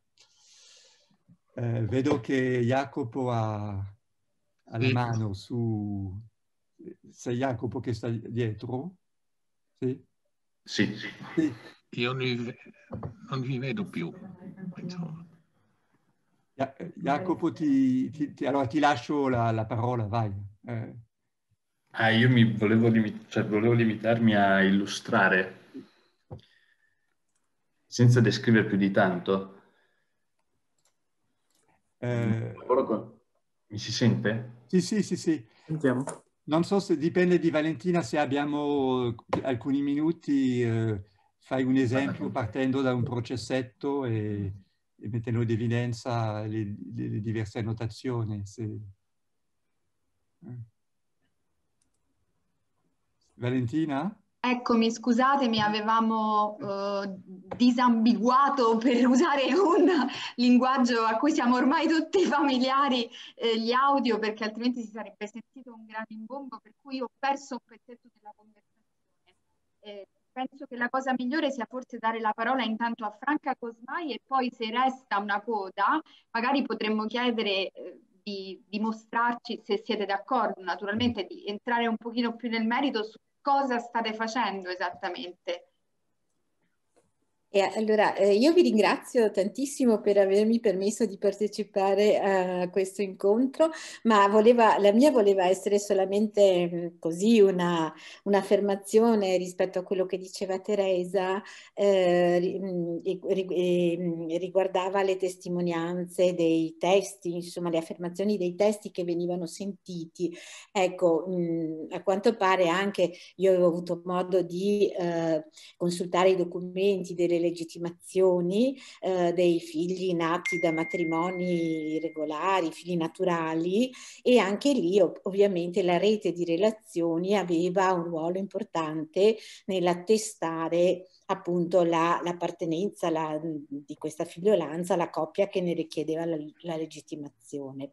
Sono molto contenta di questo lavoro e vi faccio i miei più grandi complimenti. Una fonte che io ho conosciuto all'epoca in cui, coordinate dalla professoressa Romanelli, abbiamo inventariato i fondi archivistici della, eh, diocesi, della curia patriarcale, delle parrocchie eh, che facevano veneziane, insomma, ecco. Tutto qua.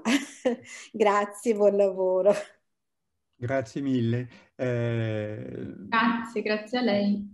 E, un invito infatti a, a un, un, lavoro eh, collettivo sui eh, testimoni, le testimonianze, perché non eh, devono essere isolate ehm, tra, tra, di esse. Ci sono eh, dei, dei modi di, di, di fare che sono eh, comuni qualsiasi la, la testimonianza. Eh, però eh, la, la, la, testimonianza ha, ha eh, certi caratteri che sono legati eh, allo scopo direi, del, del processo, della causa o del processetto. Eh, si tratta comunque sempre di attestare direi, del passato, di, di eventi passati e eh, i, i, testimoni eh, fanno spesso parte effettivamente de, de, della rete di relazione del, eh, dei ricorrenti o di coloro che sono eh, imputati.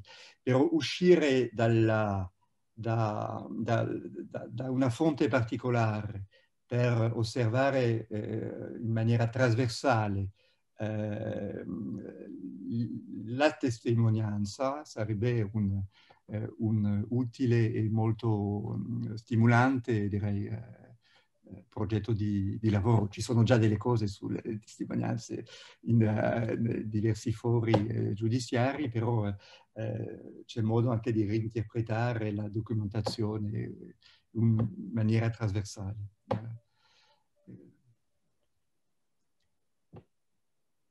Lo sapete benissimo, ma i processetti sono anche una fonte meravig meravigliosa per gli storici eh, dell'arte. Secondo me sono a livello degli stati delle anime che non ci sono a Venezia, che sono stati sfruttati a Roma a tappeto per eh, i, i, primi decenni del Seicento, eh, ma eh, anche il modo di, di ricostruire l'ambito sociale del, dei, eh, degli artisti. Mi, mi ricordo di una mostra eh, su eh, Monsu Desiderio,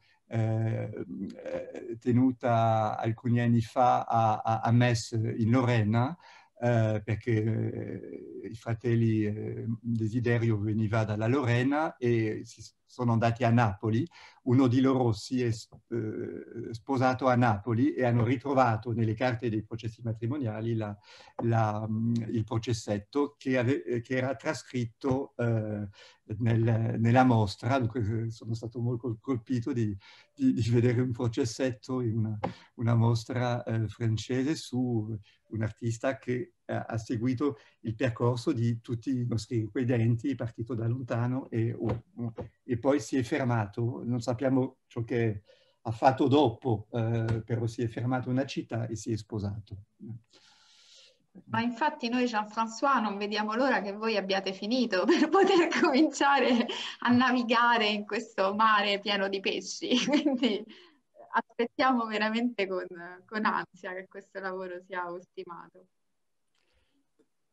Sì, mi, mi chiedevo anch'io se eh, l'incrocio con l'archivio di alcune corporazioni, alcuni mestieri eh, potrebbe essere eh, pertinente se avete già individuato alcune comunità, alcune professioni eh, che sarebbe interessante approfondire eh, in seguito.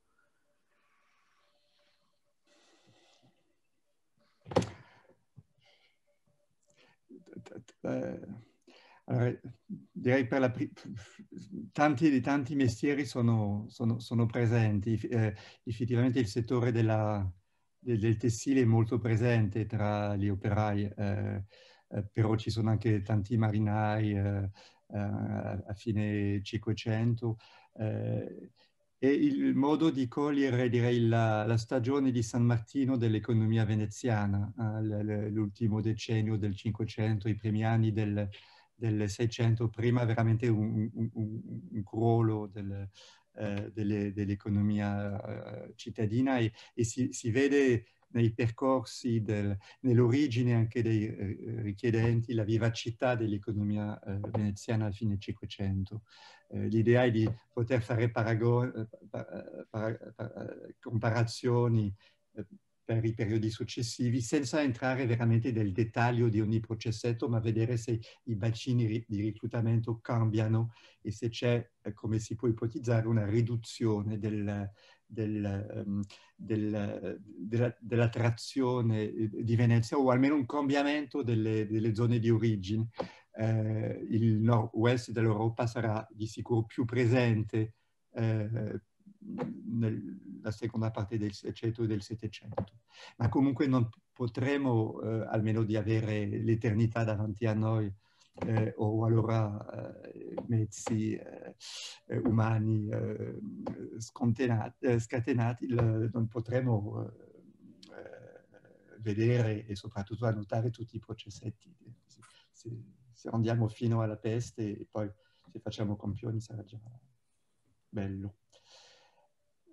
Sì, sarebbe interessante anche poter dialogare con altri progetti eh, che appunto si sono occupati più, più, da vicino delle professioni, come il progetto Marvin di cui eh, abbiamo parlato proprio in questo seminario e quindi vedere anche appunto come le, la regolamentazione eh, delle, delle, corporazioni stesse potesse influire anche sull'arrivo di, ehm, eh, di forestieri che appunto si occupavano di determinati settori.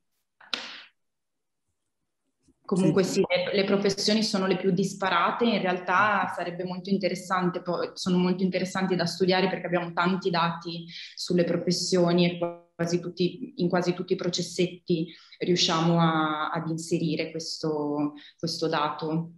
Quindi sicuramente si potrebbe appunto collaborare con altri progetti oppure Uh, ci sono i dati per fare delle ricerche anche a partire da alcune professioni come diceva mm, il professor Sciovari, il settore tessile, i mercanti eh, erano particolarmente, sono particolarmente presenti. Ecco.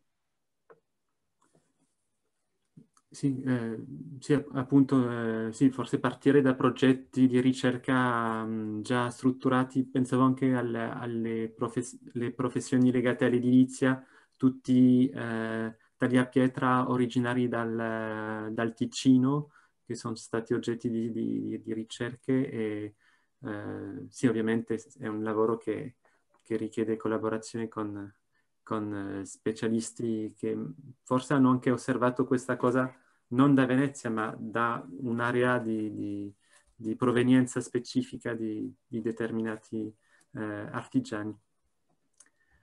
Um, non so se ci sono eh, altre domande da parte del pubblico oppure eh, possiamo presentare lo strumento prima di, di concludere questa, eh, questo seminario?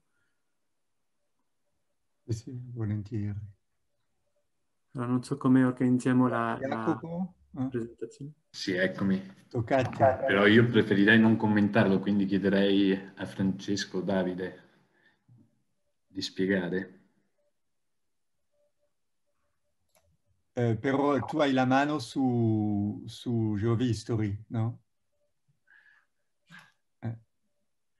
Chi...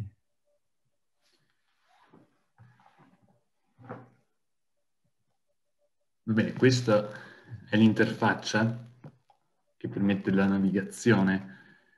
La prima icona indica i contenitori, le box all'interno del quali sono ordinate le fonti quindi entrando ad esempio nella prima voce che corrisponde al volume 1, è possibile aprire una sezione a margine dove sono riportate quelle che noi definiamo le section, che corrispondono di fatto al singolo processetto. Ogni cartellina è un processetto. Dalla cartellina è possibile poi accedere direttamente alla trascrizione in cui compare peraltro la notazione. Le annotazioni sono associate a delle entity perché il modello proposto da Giovistoli è event-centered, ovvero pone al centro gli eventi e quindi le interazioni tra più entità. Le entità poi si distinguono in due tipi, le entity persistenti e quelle temporanee. Per entity persistenti si può citare come, ad esempio l'entity persona o i luoghi geografici che rimangono invariati, costanti, mentre le entità temporanee sono delle proprietà che si associano o che derivano dalla relazione di due entità persistenti. Ad esempio, il, la nascita, il birth. La notazione testuale permette l'accesso diretto alla singola entità. Ad esempio, il richiedente che costituisce una persona all'interno della scheda persona, sempre ammesso che il giovistoli la carichi, vengono raccolte tutte le informazioni pertinenti a partire dal nome completo che riporta il nome, il patronimico, il cognome e sintetizzati per garantire la possibilità di disambiguazione, il luogo di provenienza e la professione e il cognome. Segue il genere, il social character che è in realtà stato abbandonato in virtù di una strutturazione più articolata del dato, ovvero fondato sulle motivation type, la localizzazione che permette di descrivere tanto l'arrivo a Venezia, che è il primo campo, quanto la parrocchia di residenza al momento del processetto stesso. L'inquire, ovvero la ragione che ha motivato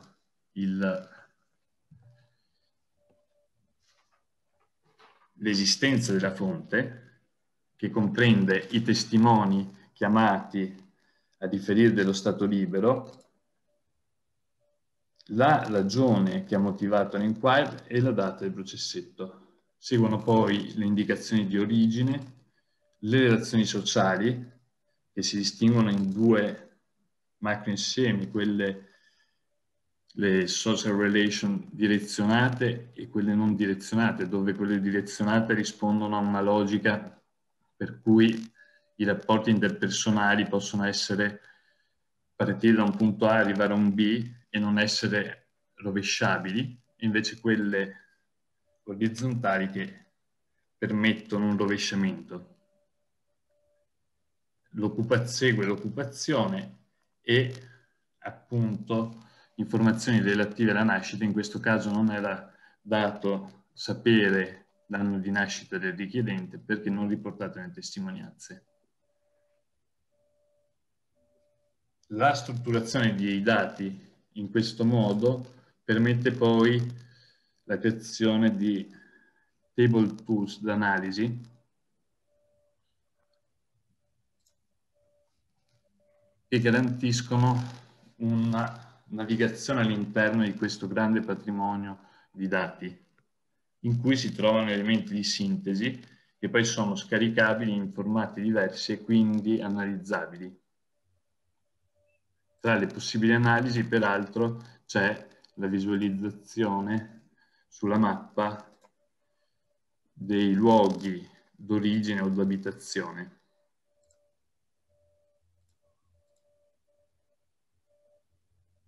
Ecco, questo non andrei oltre per ragioni di tempo e si finirebbe per cadere in tecnicismi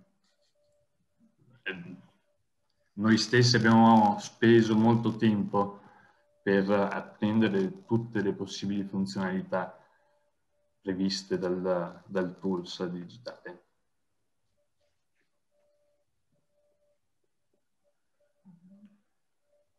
Cedo di nuovo la parola al professore. No, no, grazie mille per questa lezione bellissima, di una chiarezza eh, straordinaria.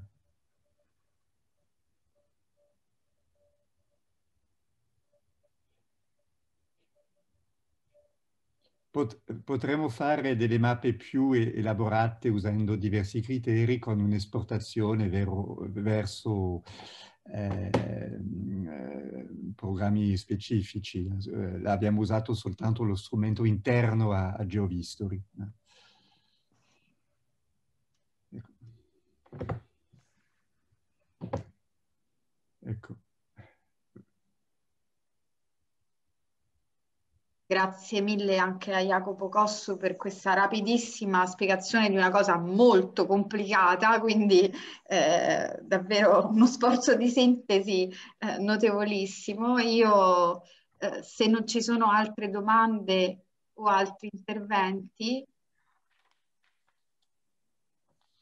visto che siamo andati anche un pochino oltre l'orario del seminario, io vorrei nuovamente ringraziare Jean-François Chauvin e Teresa Bernardi per questa eh, bellissima presentazione. Naturalmente vi, vi, continueremo a seguire a distanza per sapere come sta procedendo. Io personalmente sono rimasta molto colpita anche dal fatto che vestire da vedova sia essere vedova, cioè non c'è bisogno di altro. Questa cosa per noi che lavoriamo con le immagini a me, come dire, fa un effetto direi abbastanza, abbastanza forte, notevole decisamente.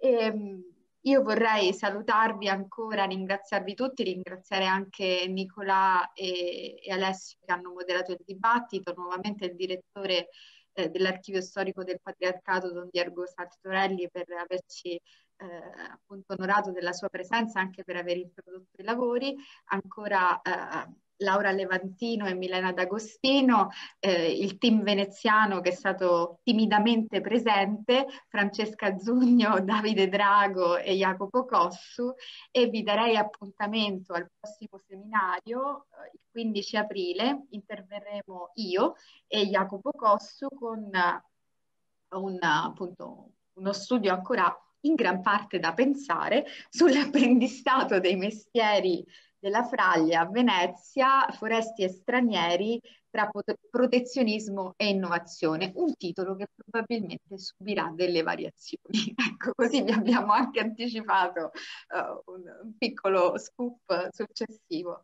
Vi ringrazio ancora davvero tutti per la vostra sempre molto calorosa e piacevolissima presenza e ci ritroviamo il 15 aprile eh, con il prossimo appuntamento. Grazie a tutti e grazie a tutto il gruppo di lavoro Rive, senza cui come al solito tutto questo non sarebbe possibile. Grazie.